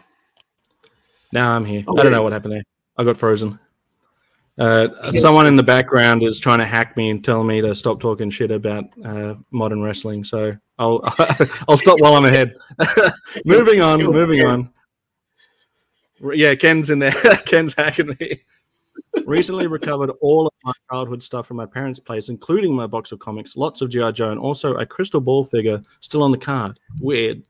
Uh, lots of other stuff too. So the crystal ball figure on the card, how's the uh, the condition of the of the card and the bubble and all of that stuff? Because um, you you hear a lot of collectors finding um, their old collections, uh, which would be awesome. I don't, I mine's long gone, but um, if the condition's still good, it was um, stored in a in a correct way. Uh, yeah, interesting. No mold, hopefully, or damage. I have to admit, I was a huge Crystal Ball fan. I loved that figure. I know that there was a lot of people that didn't, but I just really loved it. Uh, yeah, like I never, I never had an issue with any of the GI Joes. Like I, I grew up in, uh, in the '80s where that that transition was happening as I was collecting, and I never had an issue with the transition. Um, maybe it was because I was a superhero fan, I was a Ninja Turtle fan. Um, you know, um, maybe maybe that I wasn't really into um, Power Rangers or anything like that, but maybe because of that, I sort of like accepted that transition. But it was never an issue for me. I could I could gladly have a sci-fi in my collection next to you know Sergeant Slaughter, and it wouldn't be too much of a big deal for me. I didn't have a Sergeant Slaughter, but I did have a sci-fi. So I don't know if that's much of a uh, consolation, but Sergeant Slaughter, I'll believe, was a kayfabe turn. John Cena's apology to China, not very entertaining. Um, I don't know what's going on with John Cena lately. He's um, seems to be apologizing a lot for a lot of things.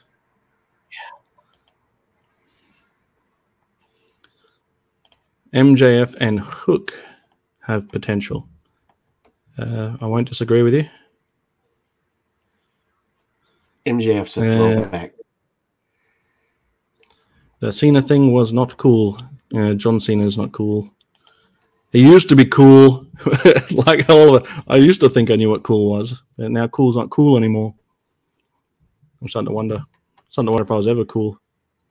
My mum thinks I'm cool. Oh yeah, hi mum. I wonder if she's watching. Hi mum. If she's not, well, we're in luck. All right, guys. Well, this has been a fun hangout. Uh, I went for an hour and a half, and I said I was just going to go for half an hour. So this was a great hangout. Thanks, guys.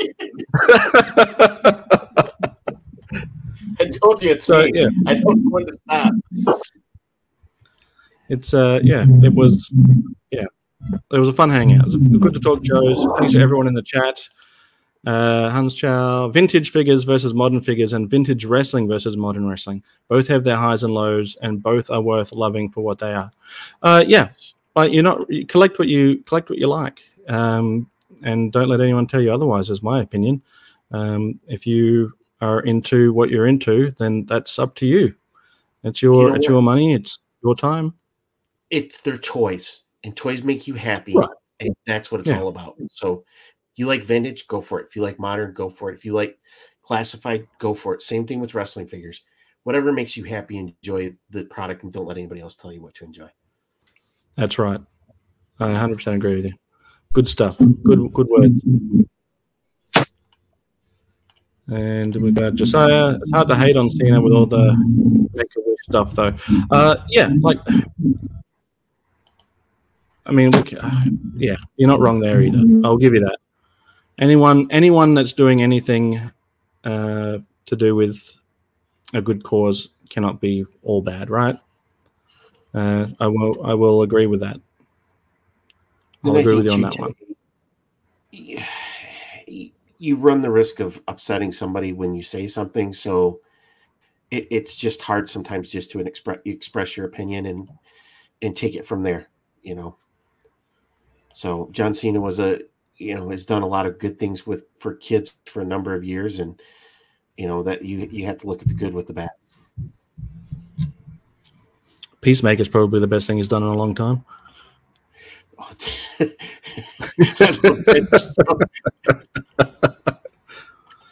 all right uh, from wallaroo it was in my closet for the past 30 years in the box with the comics, about as cool, dry, dark as it gets.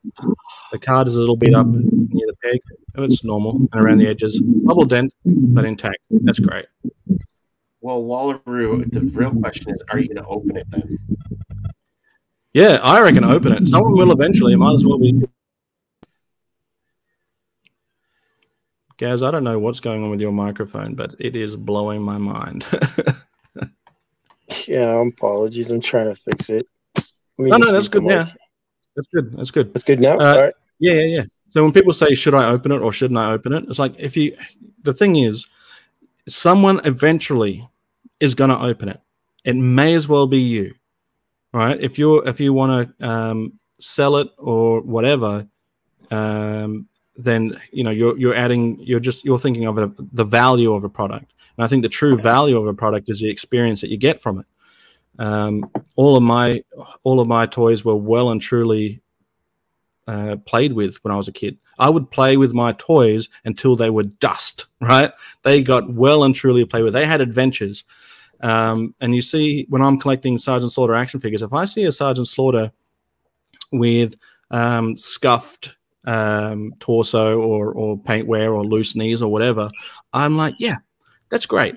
Some kid had fun with this toy. Some kid had adventures, right? And if you see a uh, completely clean one, you know, it's great to have that in your collection as a pristine representation of a character. But there's also that, well, did anyone enjoy it? Did anyone have fun with it? Uh, and for me, the real value of something is the memories behind it because, you know, money can be spent, but, you know, good memories they last for as long as you can remember them, right? The older I get, the less I can remember. But yeah, there's true value there. Uh, Wallaroo about uh, whether he's going to open it. Good question. I don't know. It's not that I'm against that sort of thing. Well, man, it's yours. If you don't want to open it, don't open it. But if uh, you're not against it, you may as well be the one to do it. It's your childhood toy. It's your childhood toy. Be be that inner child and release him from his bubble. I think it would be cool. or don't don't do it and then get angry. yeah. After 30 plus years to be able to open that figure and have that feeling that you had as a kid of yeah. opening a brand new Joe. Ugh. Heck yeah. I say open it. Yeah. How's the O ring? Is it intact? Because if it's not intact, you might as well open it. Change it out. Yeah. Yeah, that's the other problem with Joe's in, in the package. That O ring eventually is going to give way. So then it becomes, you know, Joe's broken in pieces. So, yep, that's true too. The backing will disintegrate eventually. Time will open it. So you might as well enjoy it. I recently got the 2006 Sergeant Slaughter uh, convention exclusive sent signed by Sarge, sent to me by Kelly. Uh, check out her channel too, Slaughter Daughter. And uh, the bubble had come off the card. So it uh, it opened itself. Sarge was, uh, yeah, the figure itself was too tough to contain. That's right. so yeah, he opened himself. But yeah, it's uh, it's one of those things where I feel like, um, what's the, what's what is what is your purpose for it? If you want to display it, if you want to put it on a hook and have it displayed as like a um, a throwback, you know, this is what it used to be, you know, then that's great. It's great display piece. If you're not sure what to do with it or, or whatever, just do whatever whatever the first thought that comes to your mind is. If it is to open it and enjoy it, then do it. It may even um, give you some some uh, some thought to start collecting again. You know, mess around with it. But yeah, they will all open themselves. The the warthog sarge I've found are the worst for those T hooks. J hooks? What are they? What are the hooks? J hooks. Like yeah, J hooks. T bars. T bars. J hooks. The the the inner crutch workings uh, that holds the O ring. Um, the the hook is often snapped on the Warthog Sarge, more than I've ever seen on any other GI Joe. The Warthog Sarge hook is consistently found broken, which is weird. Mm. I really got the childhood feeling when I got into collecting Mega Construx He-Man. Yeah, they look really good. The Mega Construx He-Man figures, like tiny wee 1980s memories. Yeah. Um, Mega Construx figures are so much fun. I don't have any, but I've seen the they did a Castle Grayskull, um, which looks amazing, uh, and the and the figurines, the minifigures look amazing too. I'm all in on the Origin stuff, so I, I don't disagree with uh, your feelings here on the Mega Construx stuff because if it, if they weren't out, I probably would have picked up some of those instead. But yeah, they look good. They aren't bad. They are good things. I enjoy them. I enjoy looking at them. I don't have any in hand. Here we are. Some knowledge of figures is an offense to humanity. It's terrifying to play with. I didn't realize that the the new are we talking about the new O rings that they've brought out now from um, yeah. like the you know he's talking about the the the modern scale the four inch figures. Oh right, right, right, right. Yes, yes, yes. I see what you're saying now. Um, the the yeah, I haven't really fussed around with any of those, but uh, now I know Hans, to be careful with it. Hans, Modern you can ones, find gotcha replacement parts for those, and they'll uh, you can swap them out when you break them. Hmm. Uh, if Plus, someone's if someone's had to make replacement parts already, that's not a good sign. You know, it's just the construction of those modern figures. It's it's that modular style, and everything is plastic. It's it's you know even with the classifieds, I use um, shock oil for all of the right. the legs so that they don't hang up and break you know, because that's why with my classifieds, most of the time I buy one to keep in box, one to open, because if they break, I want to have that backup there. But yeah, yeah, when you, yeah, yeah, yeah, yeah. triggered. Uh, so you haven't broken any yet, Hans?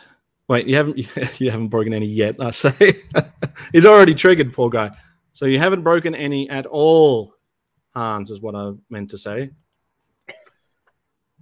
No. Uh, I haven't broken any because I haven't really fussed around with them. Most of mine are still in the box that um, Ken sent me. The only loose one I have is a roadblock, and to be um, fair, I haven't really. I did. I'm a caveman. Who did you break? Captain Caveman. I'm gonna probably think it was Lady Jaye that he broke. Oh, trying to get those legs open. That's disgusting. that Castle goal is holy cow, 200 plus US, and it's a Lego set in brackets. Uh, a big one. As far as, like, no, it's not brackets, is it? Bunny ears. What are they called? Uh, as far as Lego, what's that? The the building bricks one. Oh, As far as Lego goes, though, a comparable Lego brand set would be much more expensive. Yeah, if Lego if Lego made a um, a scale Castle Grayskull to minifigures, it would be more than two hundred plus, way more. And that um, the mini the constructs Castle Grayskull is truly more in scale with those figures as as far as what the the Mattel Castle Grayskull was when we were kids. So Wait, you saying you saying that that their Lego version Grayskull is its size it's, of the orc? It would be like almost twice the size of the uh, Castle Grayskull from the Mattel when we were kids. Oh, oh that's huge! And up next to so it, it'd be for it, these origin figures, then, right? Well, you know, it, it's you've seen the one they have at Walmart now, right? Which is it's the mm, no. revamp of the old right, yeah, yeah. So if you look at the construct set, it would be to the size of those figures, it it doubles up the scale. So the construct set actually looks like what the castle looked like in the cartoon when He-Man would be walking up to it. Right. It looks great. Uh, Hans bought three grunt figures. The first had a creased elbow, so I bought another. I don't. What is it? Oh, seized. Sorry, sorry. The first had a seized elbow, so I bought another. The second one's leg snapped off at the plastic T joint. I have a third, and I'm scared to open it. Uh, yeah, I mean, you had to buy the same figure three times, mate. Yeah, and these are the the modern figures that Hasbro just released, and I'm sorry, but they're garbage. Right. oh, right, those ones. Right. Yeah, yeah, yeah. Uh, I don't have any of those ones yet. Mattel owns uh, Mega, what is it called? Construct, Mega Construx. And I think they could kill it using the He Man and Halo Buck molds with muscle pink plastic. Yeah. Yeah, yeah, yeah. yeah. I, I, I, did they do the He Man in the muscles? I thought they did. I, they, they've made pretty much every licensed out there. Yeah. Like, I want to, unless I'm misremembering, uh, I will never admit that I'm wrong, but unless I'm misremembering um, that the um, He-Man had a muscle, I thought they did. I definitely have a muscle version of Sergeant Slaughter uh, because, of course, I do. You can tell a lot of love went into the uh, Mega Construx Motu line. Yep, I agree. It looks great. It looks great. It is a hidden gem. It is. Um, and if I wasn't already so, you know, I, I live in a shoebox, so I don't have I don't have room. I used to have on display. Um, I used to have on display. Is that Streamlab link and invite? It is. Jump on if you can. Jump on. I got time. What am I going to do? Jump on the stream. I just, looked, yeah. I just looked it up. They did make Masters of the Universe muscle Muscles. figures. Oh, they did. Yeah. Okay. Yeah. Um, I'm not sure why it's not working for our good friend, but let me go put on pants. No, mate, unnecessary. Wear what you're wearing. That means I've got to go and put pants on, and I refuse. I refuse. um, let me. Here's Hans Chow now. Hello, good sir. Good day. Good day. Ooh, it is nice. It is morning. Oh no, it's afternoon now. It's one after to afternoon. Good day. Good to see you, bud. Guys and Mr. Sweeney. And Dude, you got your hair cut. I did. I chopped it off. Now there's a cancer patient wearing my hair now. Nice. Well done. With well done. Strong Chinese hair. Hey. I hear it's comparable to uh, Kryptonian. It's true. They could hang me yes. from the ceiling by my hair, and I will stay right there. We won't kink shame you, mate. Whatever you're into. a testament to the strength, not a testament to the kink. Ah, oh, right. Well, both. From opening Lady Jaye's legs to. well, oh look, ToyKennections. Ah, Ken, what are you doing? Jump on in. The link's What's there. Up, Ken? Uh, if the link works, the link's not working for my buddy. Uh, Justin, I don't know why it didn't work for you, mate. It should work. How many can we fit? Let me try. That's what she said. Sorry. Ah, oh. see now look. Slaughterhouse Live. It's a blue show. It's a blue show. It's not family friendly. Well, this is, this is uh, Slaughterhouse After Dark. That's right, and it's only afternoon here for me. So, give me one minute. I'm just uh, going to send an invite in uh, Facebook. Uh, I, I'm shocked that you chose the Triple T over the Equalizer. I always thought the Equalizer was a superior vehicle. I mean, look, um, the thing is, the it, it's it's tough to pick one, right? So, for me, um, if, if I have to pick between one or the other, I've got to go with the classic. Um, otherwise, yeah, I don't know. The equalizer. So the equalizer, whilst Sarge is on the box, isn't really designated as his vehicle, right? Um, hang on a second. Uh, no, I just threw the link in the chat, buddy. Uh, I did not plan this. It just happened. The link is in the chat somewhere. In fact, here it is again. It was not planned. I didn't realize I was going to be sitting here with these fine gentlemen. It just happened. Uh, yeah, so the equalizer. The, oh, sorry, Gaz, go for it. I was gonna say, so what if what if the equalizer was motorized like the Mauler was? Oh, mate, look. if you add a, if you add a if you add a motor to anything, it elevates it. But the, the equalizer is probably the the the the best of that mold, in my opinion. Um, but it's not really designated as Sergeant Slaughter's ride. He's on the box, but it's not Sergeant Slaughter's equalizer. It's the Marauder's equalizer, right? The Warthog hmm came with Sarge, so the Warthog is Sergeant Slaughter's. Um, the Triple T, the same. But yeah, I don't know. I might change my mind tomorrow, Hans. We'll check check back in tomorrow. I'll I'll reconcile this with my therapist and get back to you.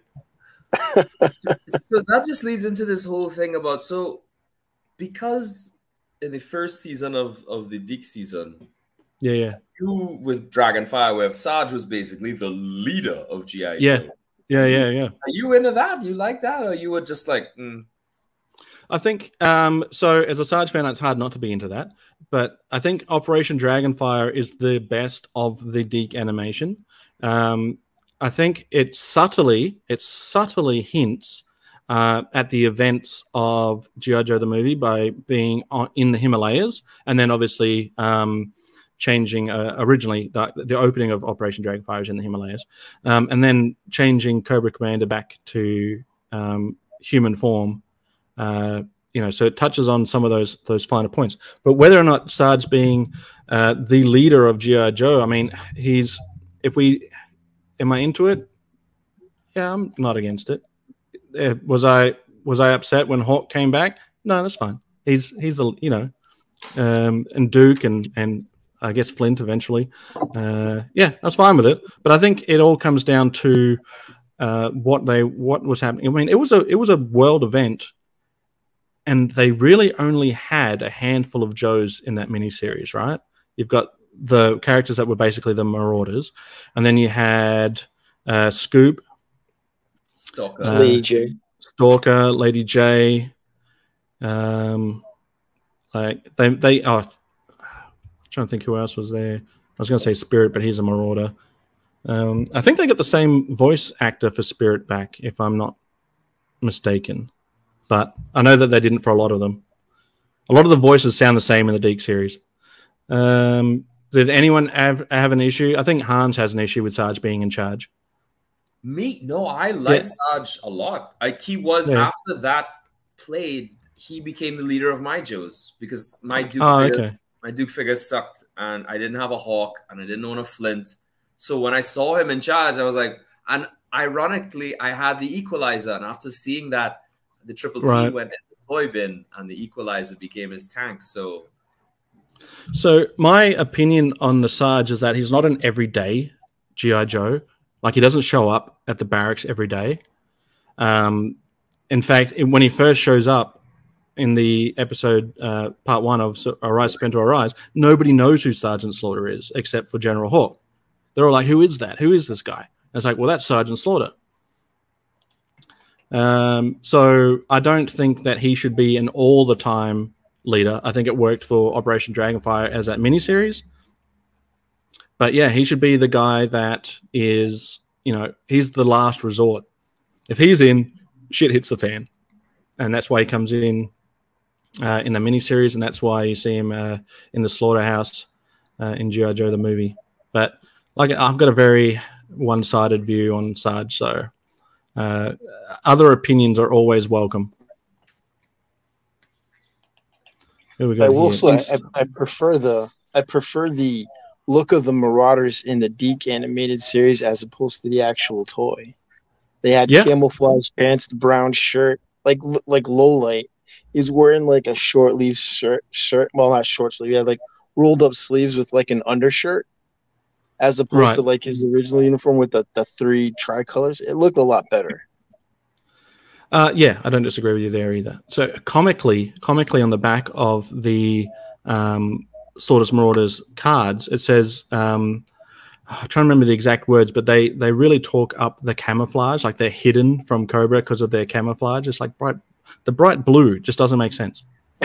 uh, the rest of it's the rest of it's great. So thankfully, thankfully, they refrained from adding any of that blue to the vehicles because the vehicles are perfectly painted, in my opinion. Yeah.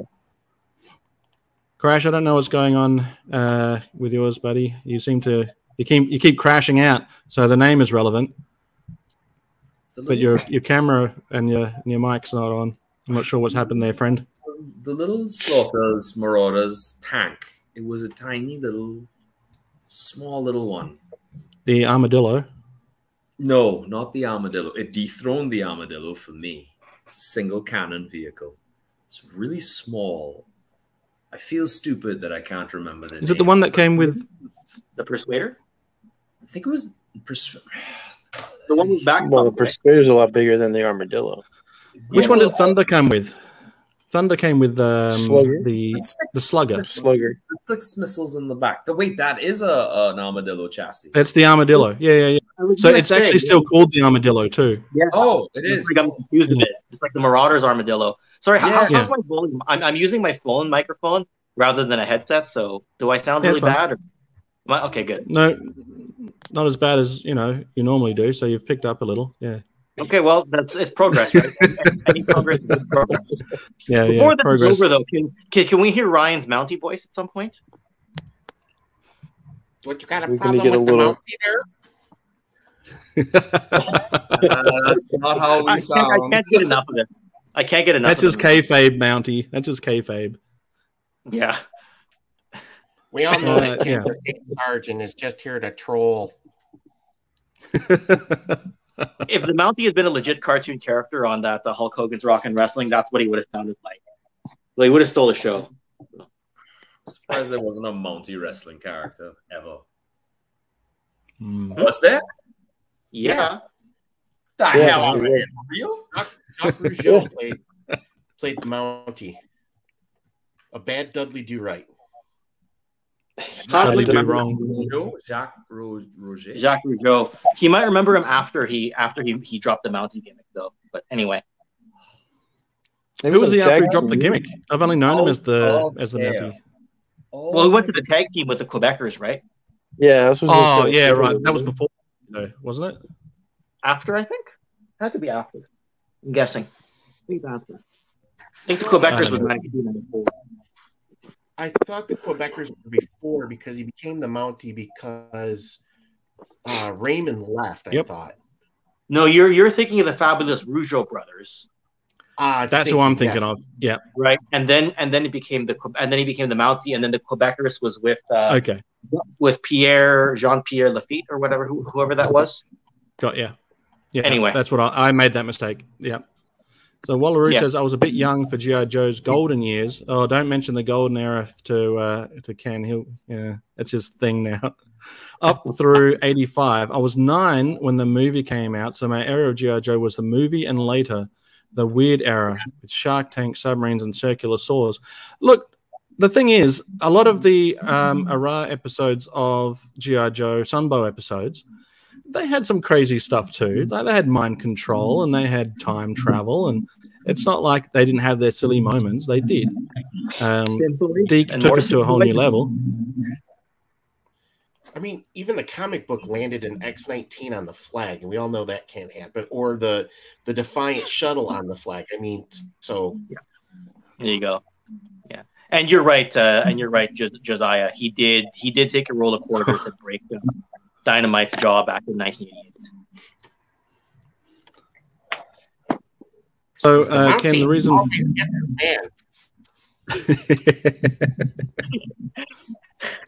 Just love it. It's too good. So, Ken, this was actually a unplanned.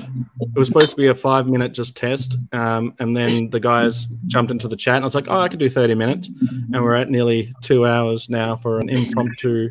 But th- th- this is good. I get to connect with uh, with Gaz and Ryan for the first time, uh, like in real time as well. I know Hans and I have talked in real time before, but this is this is good to get this uh, to get this. Uh, um, this is the first I've seen Hans Chow face to face. Mm. Uh, yeah. So this is such a handsome face.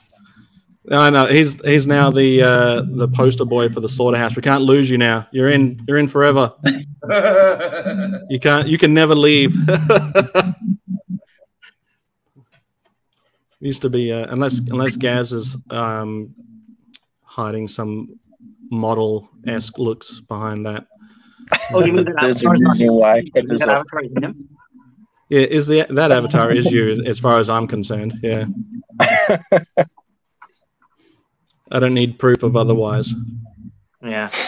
As an artist, everyone is beautiful. It's the uh, personalities that make people ugly. There you go, Hans Chow with the logic. Uh, yeah, you're a, you're a deep philosophical man. Little Classified loves the Mountie voice with that uh, now there's a there's a laughing tear emoji. So is that true or is that not true? Does that for what we need, them... Slaughterhouse Wrestling Championship? It's yeah. exactly the voice we need for that.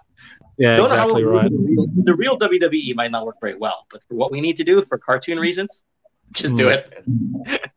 Yeah, those the Mountie uh, SWC promos. Um, yeah, they're becoming fast, fast becoming my favorite. Uh, it might even eventually knock Macho Monkey Wrench off. It's it's the horse that makes it. Having the horse, right. it's just perfect. If it doesn't elbow drop off the horse, well then we're in. Anyway. That's right. If it doesn't happen, if that doesn't happen, I'll be very disappointed in myself. Just, I just sent Diesel a new uh, a new Hitman promo as well that uh, Mountie might want to respond to. There you go. Hans is the good-looking oh, Joe fan. Yeah, the Facebook group. I, Did he have a face turn for a bit? The Mountie? I don't think the Mountie ever had a face turn. He was with the boss man, apparently, so I'm seeing here.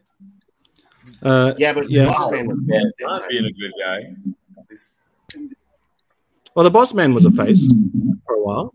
For a little, I yeah. just remember whooping the tar of Al Snow, who I didn't like. So to me, he's a face all day. True. What's wrong yeah, with Al Snow? What's wrong with Al Snow? Wrong with him? I just I don't. Al Snow, Harley Quinn, Deadpool, anybody who's slightly crazy, get them out of my face. Give me the well, straight lace.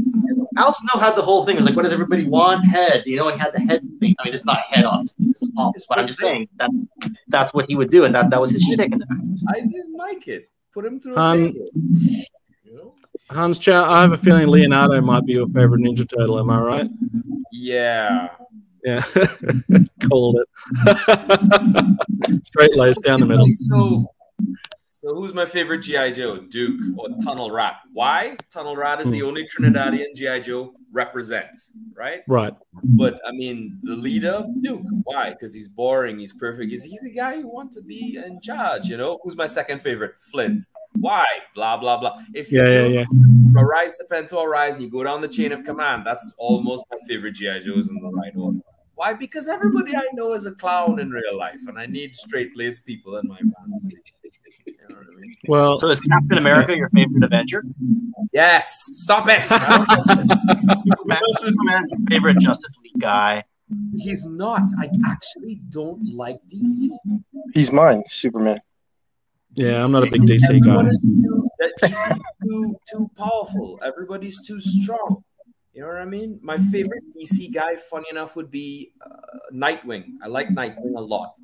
But he's pretty straight laced compared to Batman. He's straight laced, but when you place him against Batman, who I think is clinically insane, he he's still more sane, attempting to kind of etch his way and become healthy again.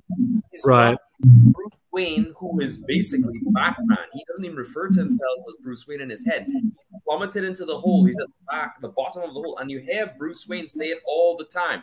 I adopted uh, uh, Dick Grayson so that he wouldn't become like, and I like that dynamic.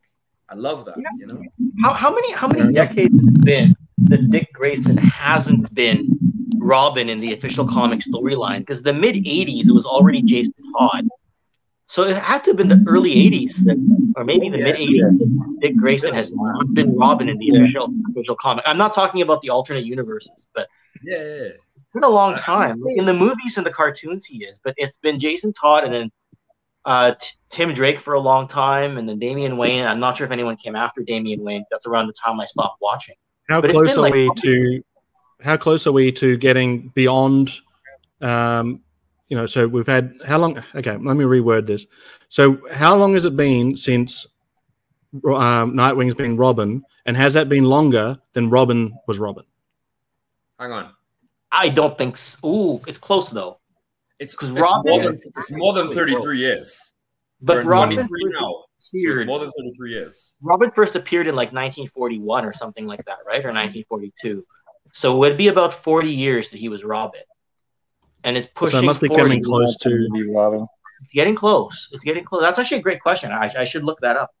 Right. Yeah, Gazz, you're a DC guy. That's when he. no, my favorite, my favorite Bat character would be uh, Red Hood. So okay, uh, yeah, that's fairly recent. You're talking about the Jason Todd version of Red Hood, though. Jason Todd version of Red Hood. You know, sporting yeah. the brown coat. Hmm. Yeah, that does uh, look cool. Um, post, post, Scott Snyder run, I think is what you're thinking of. So. Yeah. Okay. Yeah, we should talk. We should talk Batman. I'm a big, big Batman fan. So gun, gun toting. I want to kill Batman. Hmm. Red Hood. That's the guy I like. I like. I like Batman because of the psychological questions he really poses. You mm. know, and I like Superman because of regardless of how hard he tries, at the core of what he is, he is not a human and he never will be. He's just pretending. So he always has to try to be what we are by nature. And it's Batman the same reason always got the best writers though. Like they always had either Frank Miller or Jeph Loeb or Scott Snyder or somebody writing him who was like who could right. just do so well with him. Well, it elevated right. Batman for a while, though, didn't it? It did. Yeah, yeah. Well, I think it's because Batman's a more interesting character to write for compared to Superman. Superman is, yeah. is John Cena, Batman is CM Punk. Who you want to write for? There we go. There we go. And CM oh, Punk's wait, wait. the title tomorrow night. We got to talk about Superman's not John Cena. Just, just before we flee off of, of anything and before I forget myself as I'm old, um, when Sergeant Slaughter comes out as a G.I. Joe classified figure, are we going to see a Sergeant Slaughter's Slaughterhouse wrestling match classified size? Man, I got to do something, right? Well, let's let's bring it up. Because he'd be the same size as all the other wrestling figures now, eh? I was gonna say, but you could do that already with your Mattel Ultimate Edition, couldn't you? Yeah, I could do it with this guy. I could do it with this guy. I mean, technically, I could do it with all of them. But um, how he looks compared to those other guys. That's GI Joe Sergeant Slaughter to me. That is a GI Joe. That is a good representation of GI Joe Sergeant Slaughter. Yes, I agree. Proportionally speaking, that is a good animated look of Sergeant Slaughter. Uh, you think he's going to be a? Uh, think he's going to be like gung ho size, or you think he's going to be smaller? Be no, big. definitely, definitely that size for sure. Yeah. There's no way he's going to be shorter than gung ho. Um, and the Sergeant It'll be. It's actually unfortunate. Sorry, I'm sorry. I was going to say the Sergeant Slaughter you have on the screen. This is the uh, roadblock that Amazon exclusive. That's the buck they used for that roadblock. Oh, right. Okay. That makes sense. Okay. Well, uh, as a as a digital render, I didn't want to um, just assume, but I can see I can see why that would be the case. I do know that there's a multi-year deal, so we're going to see a bunch of different ones. But um, the thing about the thing about it, Hans, is that um, they as much as cool as this as cool as this scale is, they I just don't think that I could I think the sillier they look, like GI Joe scale, like the the easier it is to make it look real. Like the sillier the sillier they look, the easier it is to believe it. But I think if I have these guys jumping around, there's a lot of good uh, channels that are doing it with classified scale and wrestling scale figures. Um, but I just don't know if I, I, I barely think I have enough skill to do it with GI Joes, let alone uh, classified scale. Oh, don't do that. I if you did it in the bigger scale, would be the, the master of the universe figures would be the best ones to use. Uh, yeah, and Cobra Lang does an amazing series where he do, uses these in a wrestling ring. So oh, yeah. definitely check out Cobra Lang too. Um, He's amazing. Yeah, yeah, yeah. So these guys sort of work for that style. Uh, so this would be my next. If I was going to do anything other than the GI Joe ones, which I'm too, I'm, I'm all in on that. I'm O ring deep in O ring wrestling right now. Um, but the um, yeah, this one would probably be the other scale that I would probably consider, but I don't. I would. I'm not going to do it, um, just because time. Time being what it is. I mean, I will do a video on it. I'm currently working on a video now uh, for um, Iconicon discussing all of these. I got to sit down with Sarge this week, um, and we talked about we talked about all of these. Um, so snippets of that will be part of the Iconicon um, video but I will release an unedited version because we talked for hours. And we actually got to, I mentioned this earlier, but we actually got to recreate this moment too. So um, we, were, we were looking at this, and I was like, you know what would be a great idea if we just um, recorded this as the, um, that when you rang the number for the free uh, mail away Sergeant Slaughter. Hmm. So that's awesome. Oh, cool. What channel animates the figures in the ring? That would be Cobra Lang, is the one I was referring to. He does the um, Masters of the Universe style. Um, had I known I would be talking about it, I would have uh, put the link in the description and uh, definitely would have done that. But check check out. Yes, it is. It is stop motion. Correct. He's very. My, what I do isn't stop motion. It's what the Joburg kids call play motion. So everything I do, I do on camera. Um, I don't have a full. I like I stop motion when it's done really well, and Cobra Lang does it very well.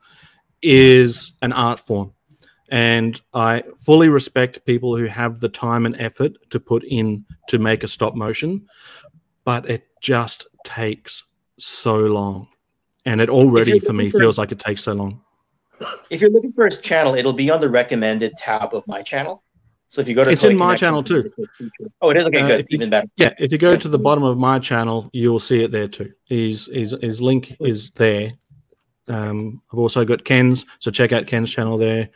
Um, Ryan, you've got a you've got a new channel. You want to plug your new channel, newish, in comparison? Yeah, I, I can put it in there. It's uh, uh, it's, uh, God, I can't even remember. It's the Island of Misfit Toy Collectors, where it's just, but about absolutely nothing important, um, just wasting time. So ah, I, I would like to. Well, that's what we're doing now, right?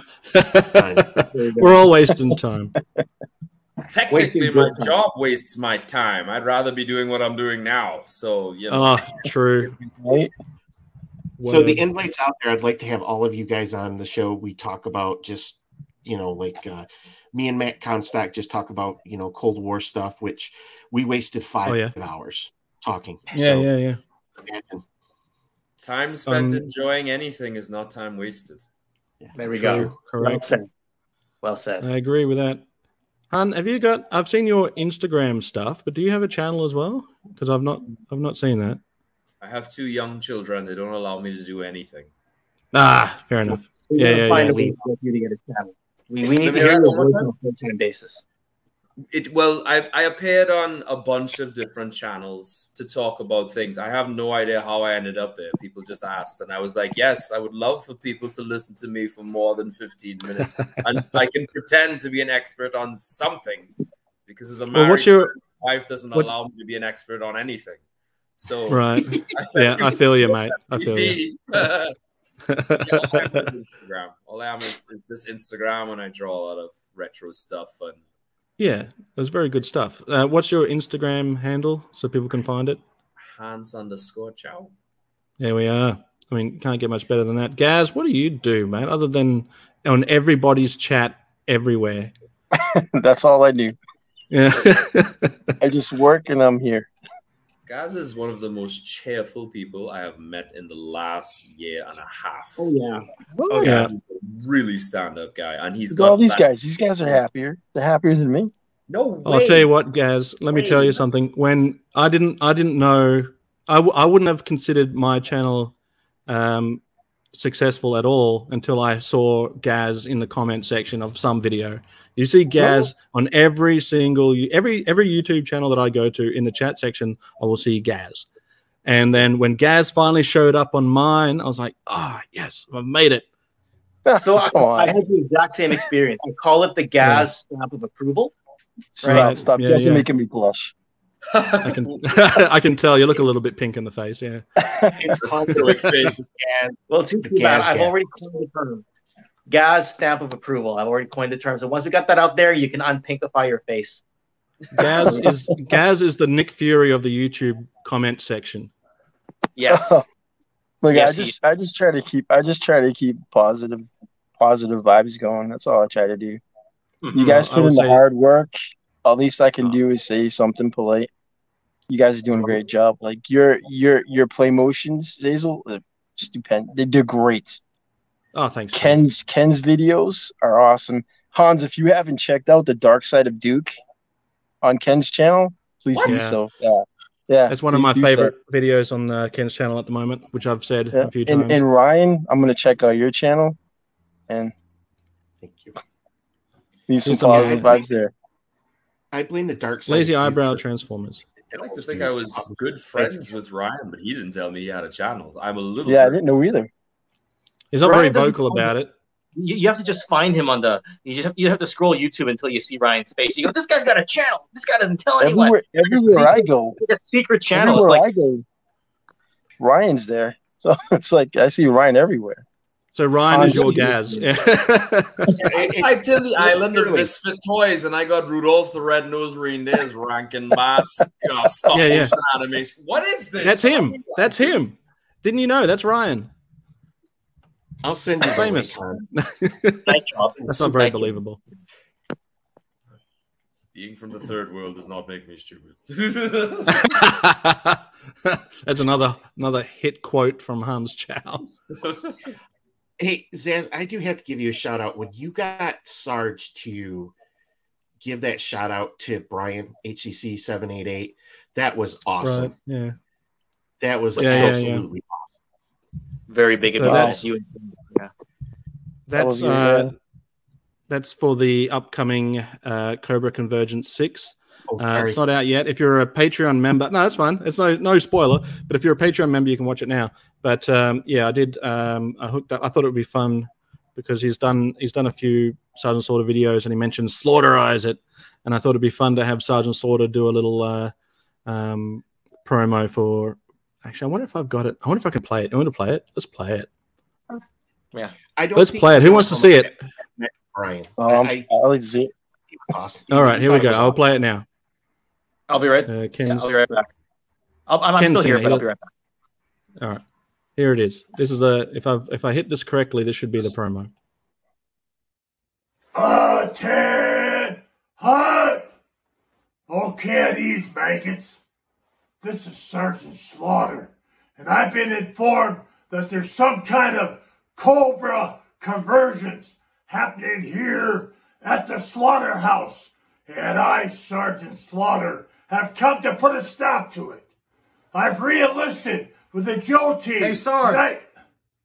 What? Fan event. What? Fan event. Fan event. Fan event. Fan event. Oh, fan event. Well, why did you say so in the first place? The Cobra Conversions is a G.I. Joe fan event. Well, I'll allow that. So carry on. But you, Hooded Cobra Commander 788, I, Sergeant Slaughter, I'm keeping an eye on you. Is that clear, slime ball? Okay, Xazyl, I'll let you get back to your show. But listen up, maggots. Don't forget to check out the Slaughter Daughter official channel where Kelly, my badass bitch daughter, and I, Sergeant Slaughter, hang out and talk about all kinds of behind the scenes stories and many never heard before life experiences. Any questions? Good. Then make sure you watch and don't make me or Slaughter Daughter have to come looking for you. And that's in order.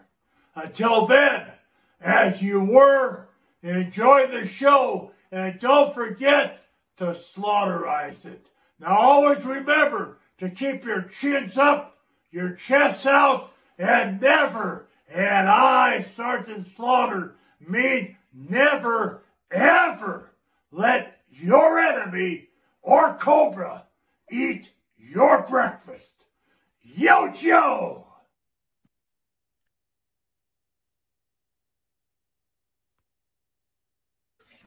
Yo, Joe. Yo, Joe. Never Don't eat my breakfast, Basil. What's that? He just he just never lost it. Yeah. No. Still have no, he still got it. Damn. Yeah, yeah.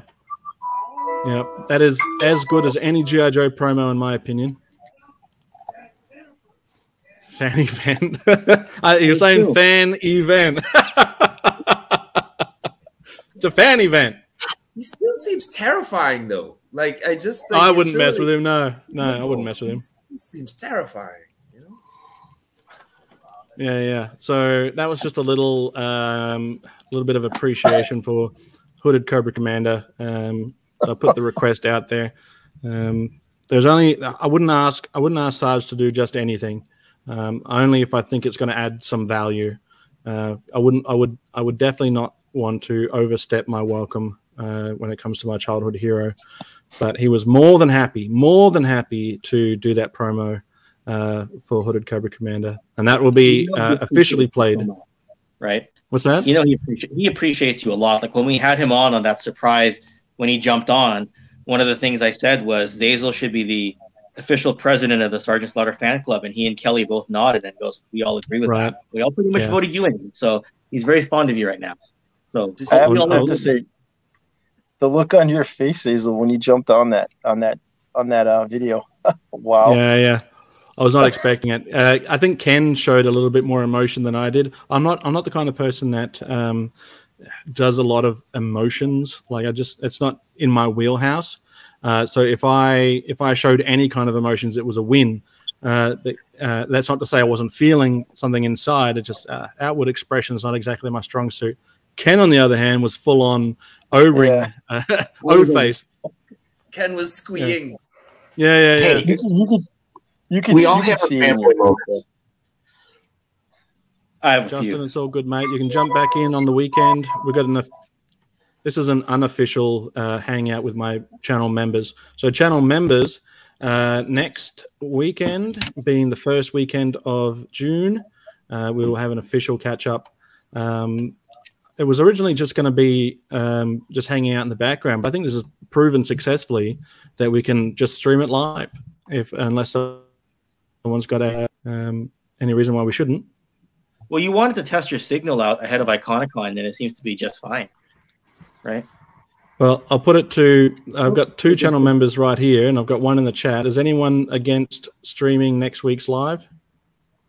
I'm not against it. No, I'm I'm all for it. Nice, Ken. How you doing? From Justin, you might know him as a different name.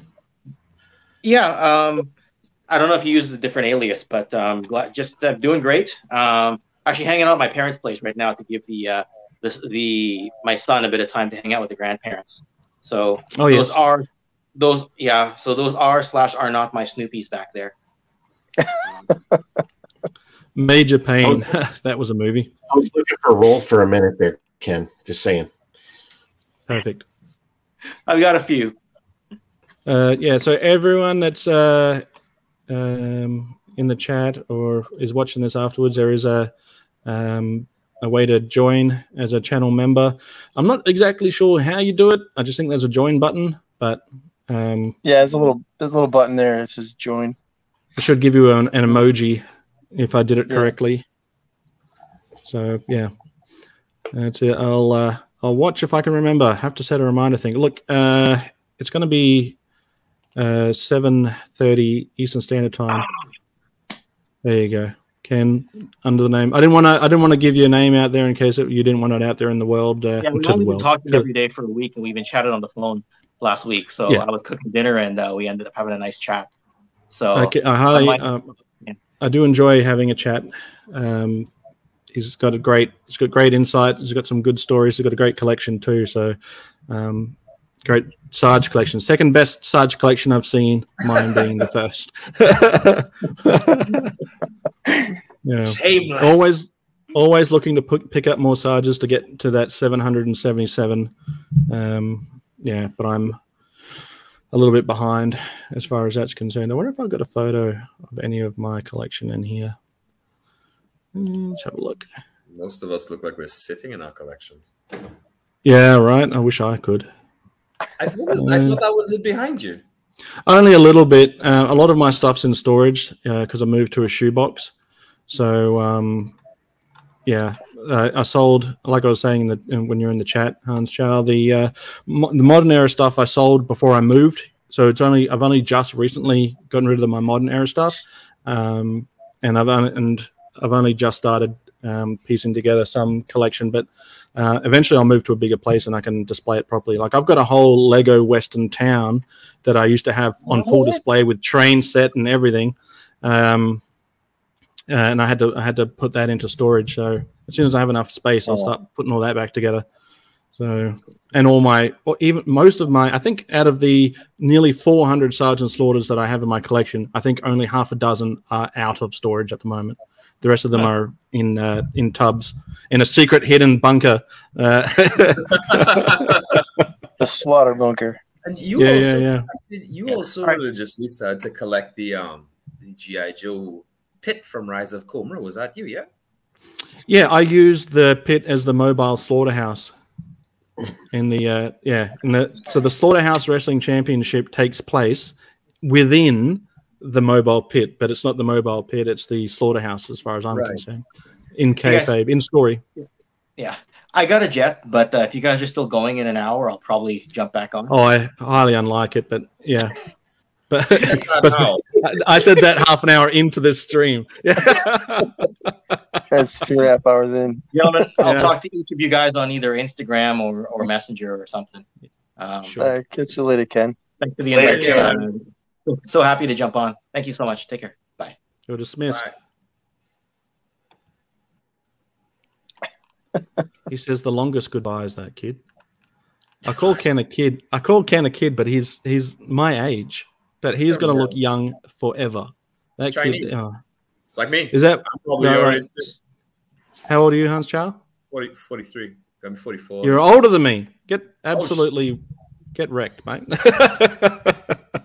well, that, the idea, you. the idea is ultimately to continue looking like I'm 20. Like, oh, I did this thing. I did this thing. I came yeah, yeah. home. So uh, I work in a school. I am a teacher and we have a okay. uniform. So I have to dress in a full three piece suit with a red tie and I set my hair okay. back and I always look I try to look very attractive. As attractive as possible. Because whenever the young mothers come to pick their sons up, I want them to underestimate my age. So right. that they say, oh, well, oh, you know, you wouldn't do anything. I was like, no, I, I, do know I have children of my own and I have a wife. oh, well, you've been married, oh, 20 something, oh, you, ah. And so I came home, I parked up my car, and I got out of the car. And that's the nice thing about living in a Caribbean country is that all year round, the lovely ladies like to dress in their little yoga pants and stuff, and they do their run. Right. So there's young girls that come running down the road. They must be like 22 years old, maybe maybe somewhere in their 20s. And this girl, she's like running, and she looks, and then she like looks forward, and she takes a double take and looks back at me. And I was like, I kind of feel in my heart of hearts, it's like, Doing a good job, Hans. Exercising. Well done. Being good. And then I go inside. I do. I look at my wife and I say, "My darling, you're a lucky woman." Don't change our son's diaper or whatever, you know.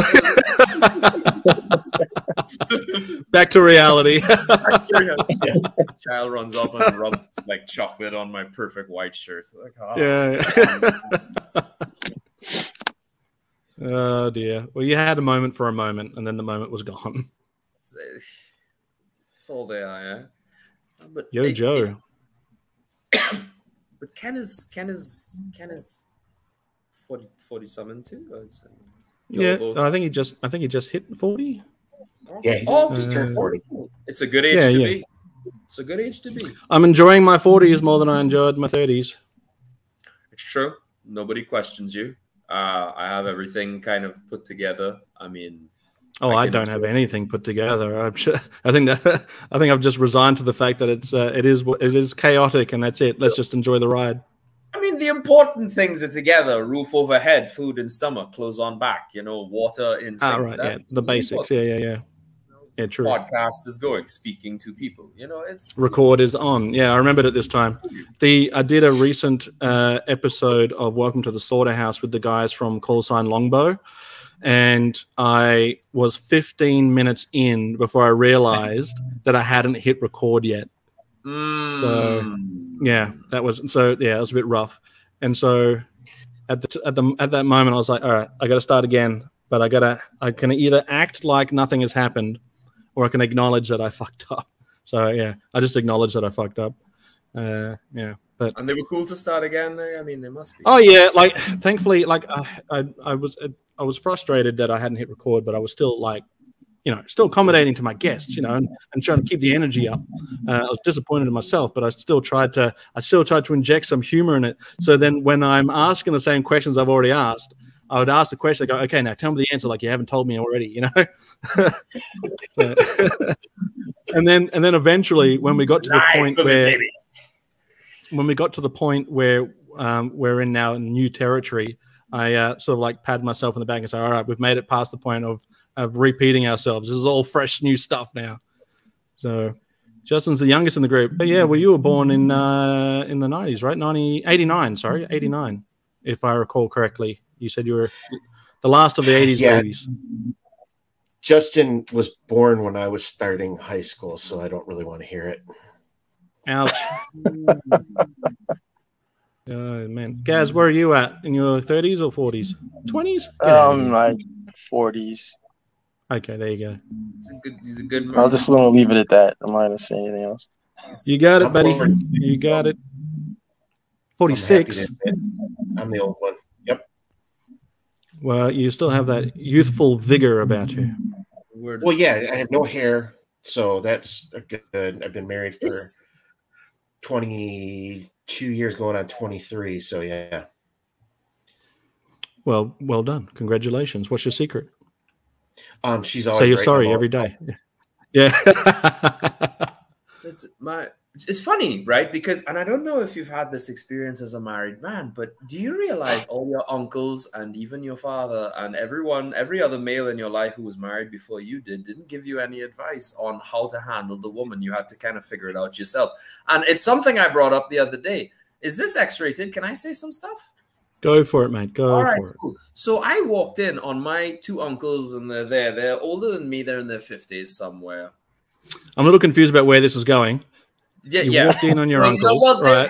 They're, they're, we're talking family This you is X-rated, you say? Not yeah. me. You brought us to this position. Anyway, ah, okay. no, don't make fun of that either. Anyway, so they're there, and they're mm. drinking, and I said, "Listen, you two, y'all didn't warn me about anything," and they looked confused. And I said, "I have not had sex in six years." Why didn't you warn me this was going to happen?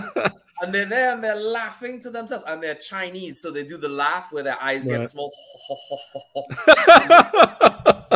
And i and i and then I, I went on and i was said you didn't warn me that the only way to defeat the argument is to pretend you didn't know. You didn't warn me to like you know that that if if you did if she's on the other side of the house and she's calling you if you pretend not to hear you can always use that as an excuse you didn't warn me about anything. And they're then yeah. it's like, well, it's good that you learned by yourself. And I said, I could have been divorced several times in the last series of years.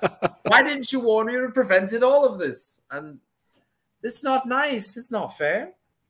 And you know, on the flip side of that, when you have kids, people want to tell you all about their experiences when kids are concerned. That's where all the horror stories come out. I want to elbow drop my kids sometimes. And they're like, no, you can't do that. I was like, well, you elbow dropped yours and I'm fine. Anyway. You know? Relatively, yeah, yeah, yeah. Wow. well, me and my brothers would you know? me and my brothers would elbow drop each other. Yeah, uh, we turned out all right. See, I was the eldest male, therefore I was ah. allowed to elbow drop and too tall to elbow drop. But then mm. note that I used the distinguisher. I was the eldest male. There were two older females. And from them, I learned that women don't fight.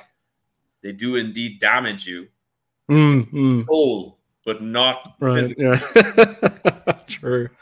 Speaking of uh, physical damage, did anyone other than me ever pull out a uh, mattress out to the outside and then jump off the roof onto it to see if you could? Yeah, man, no. me too. I did. So the, after the uh, second time, the umbrella well, off the roof as well too. To see. Oh, you've got to try that. Yeah, yeah, you have to try that. In, in fairness, we we well they had like three story houses around us, so that wasn't really an option.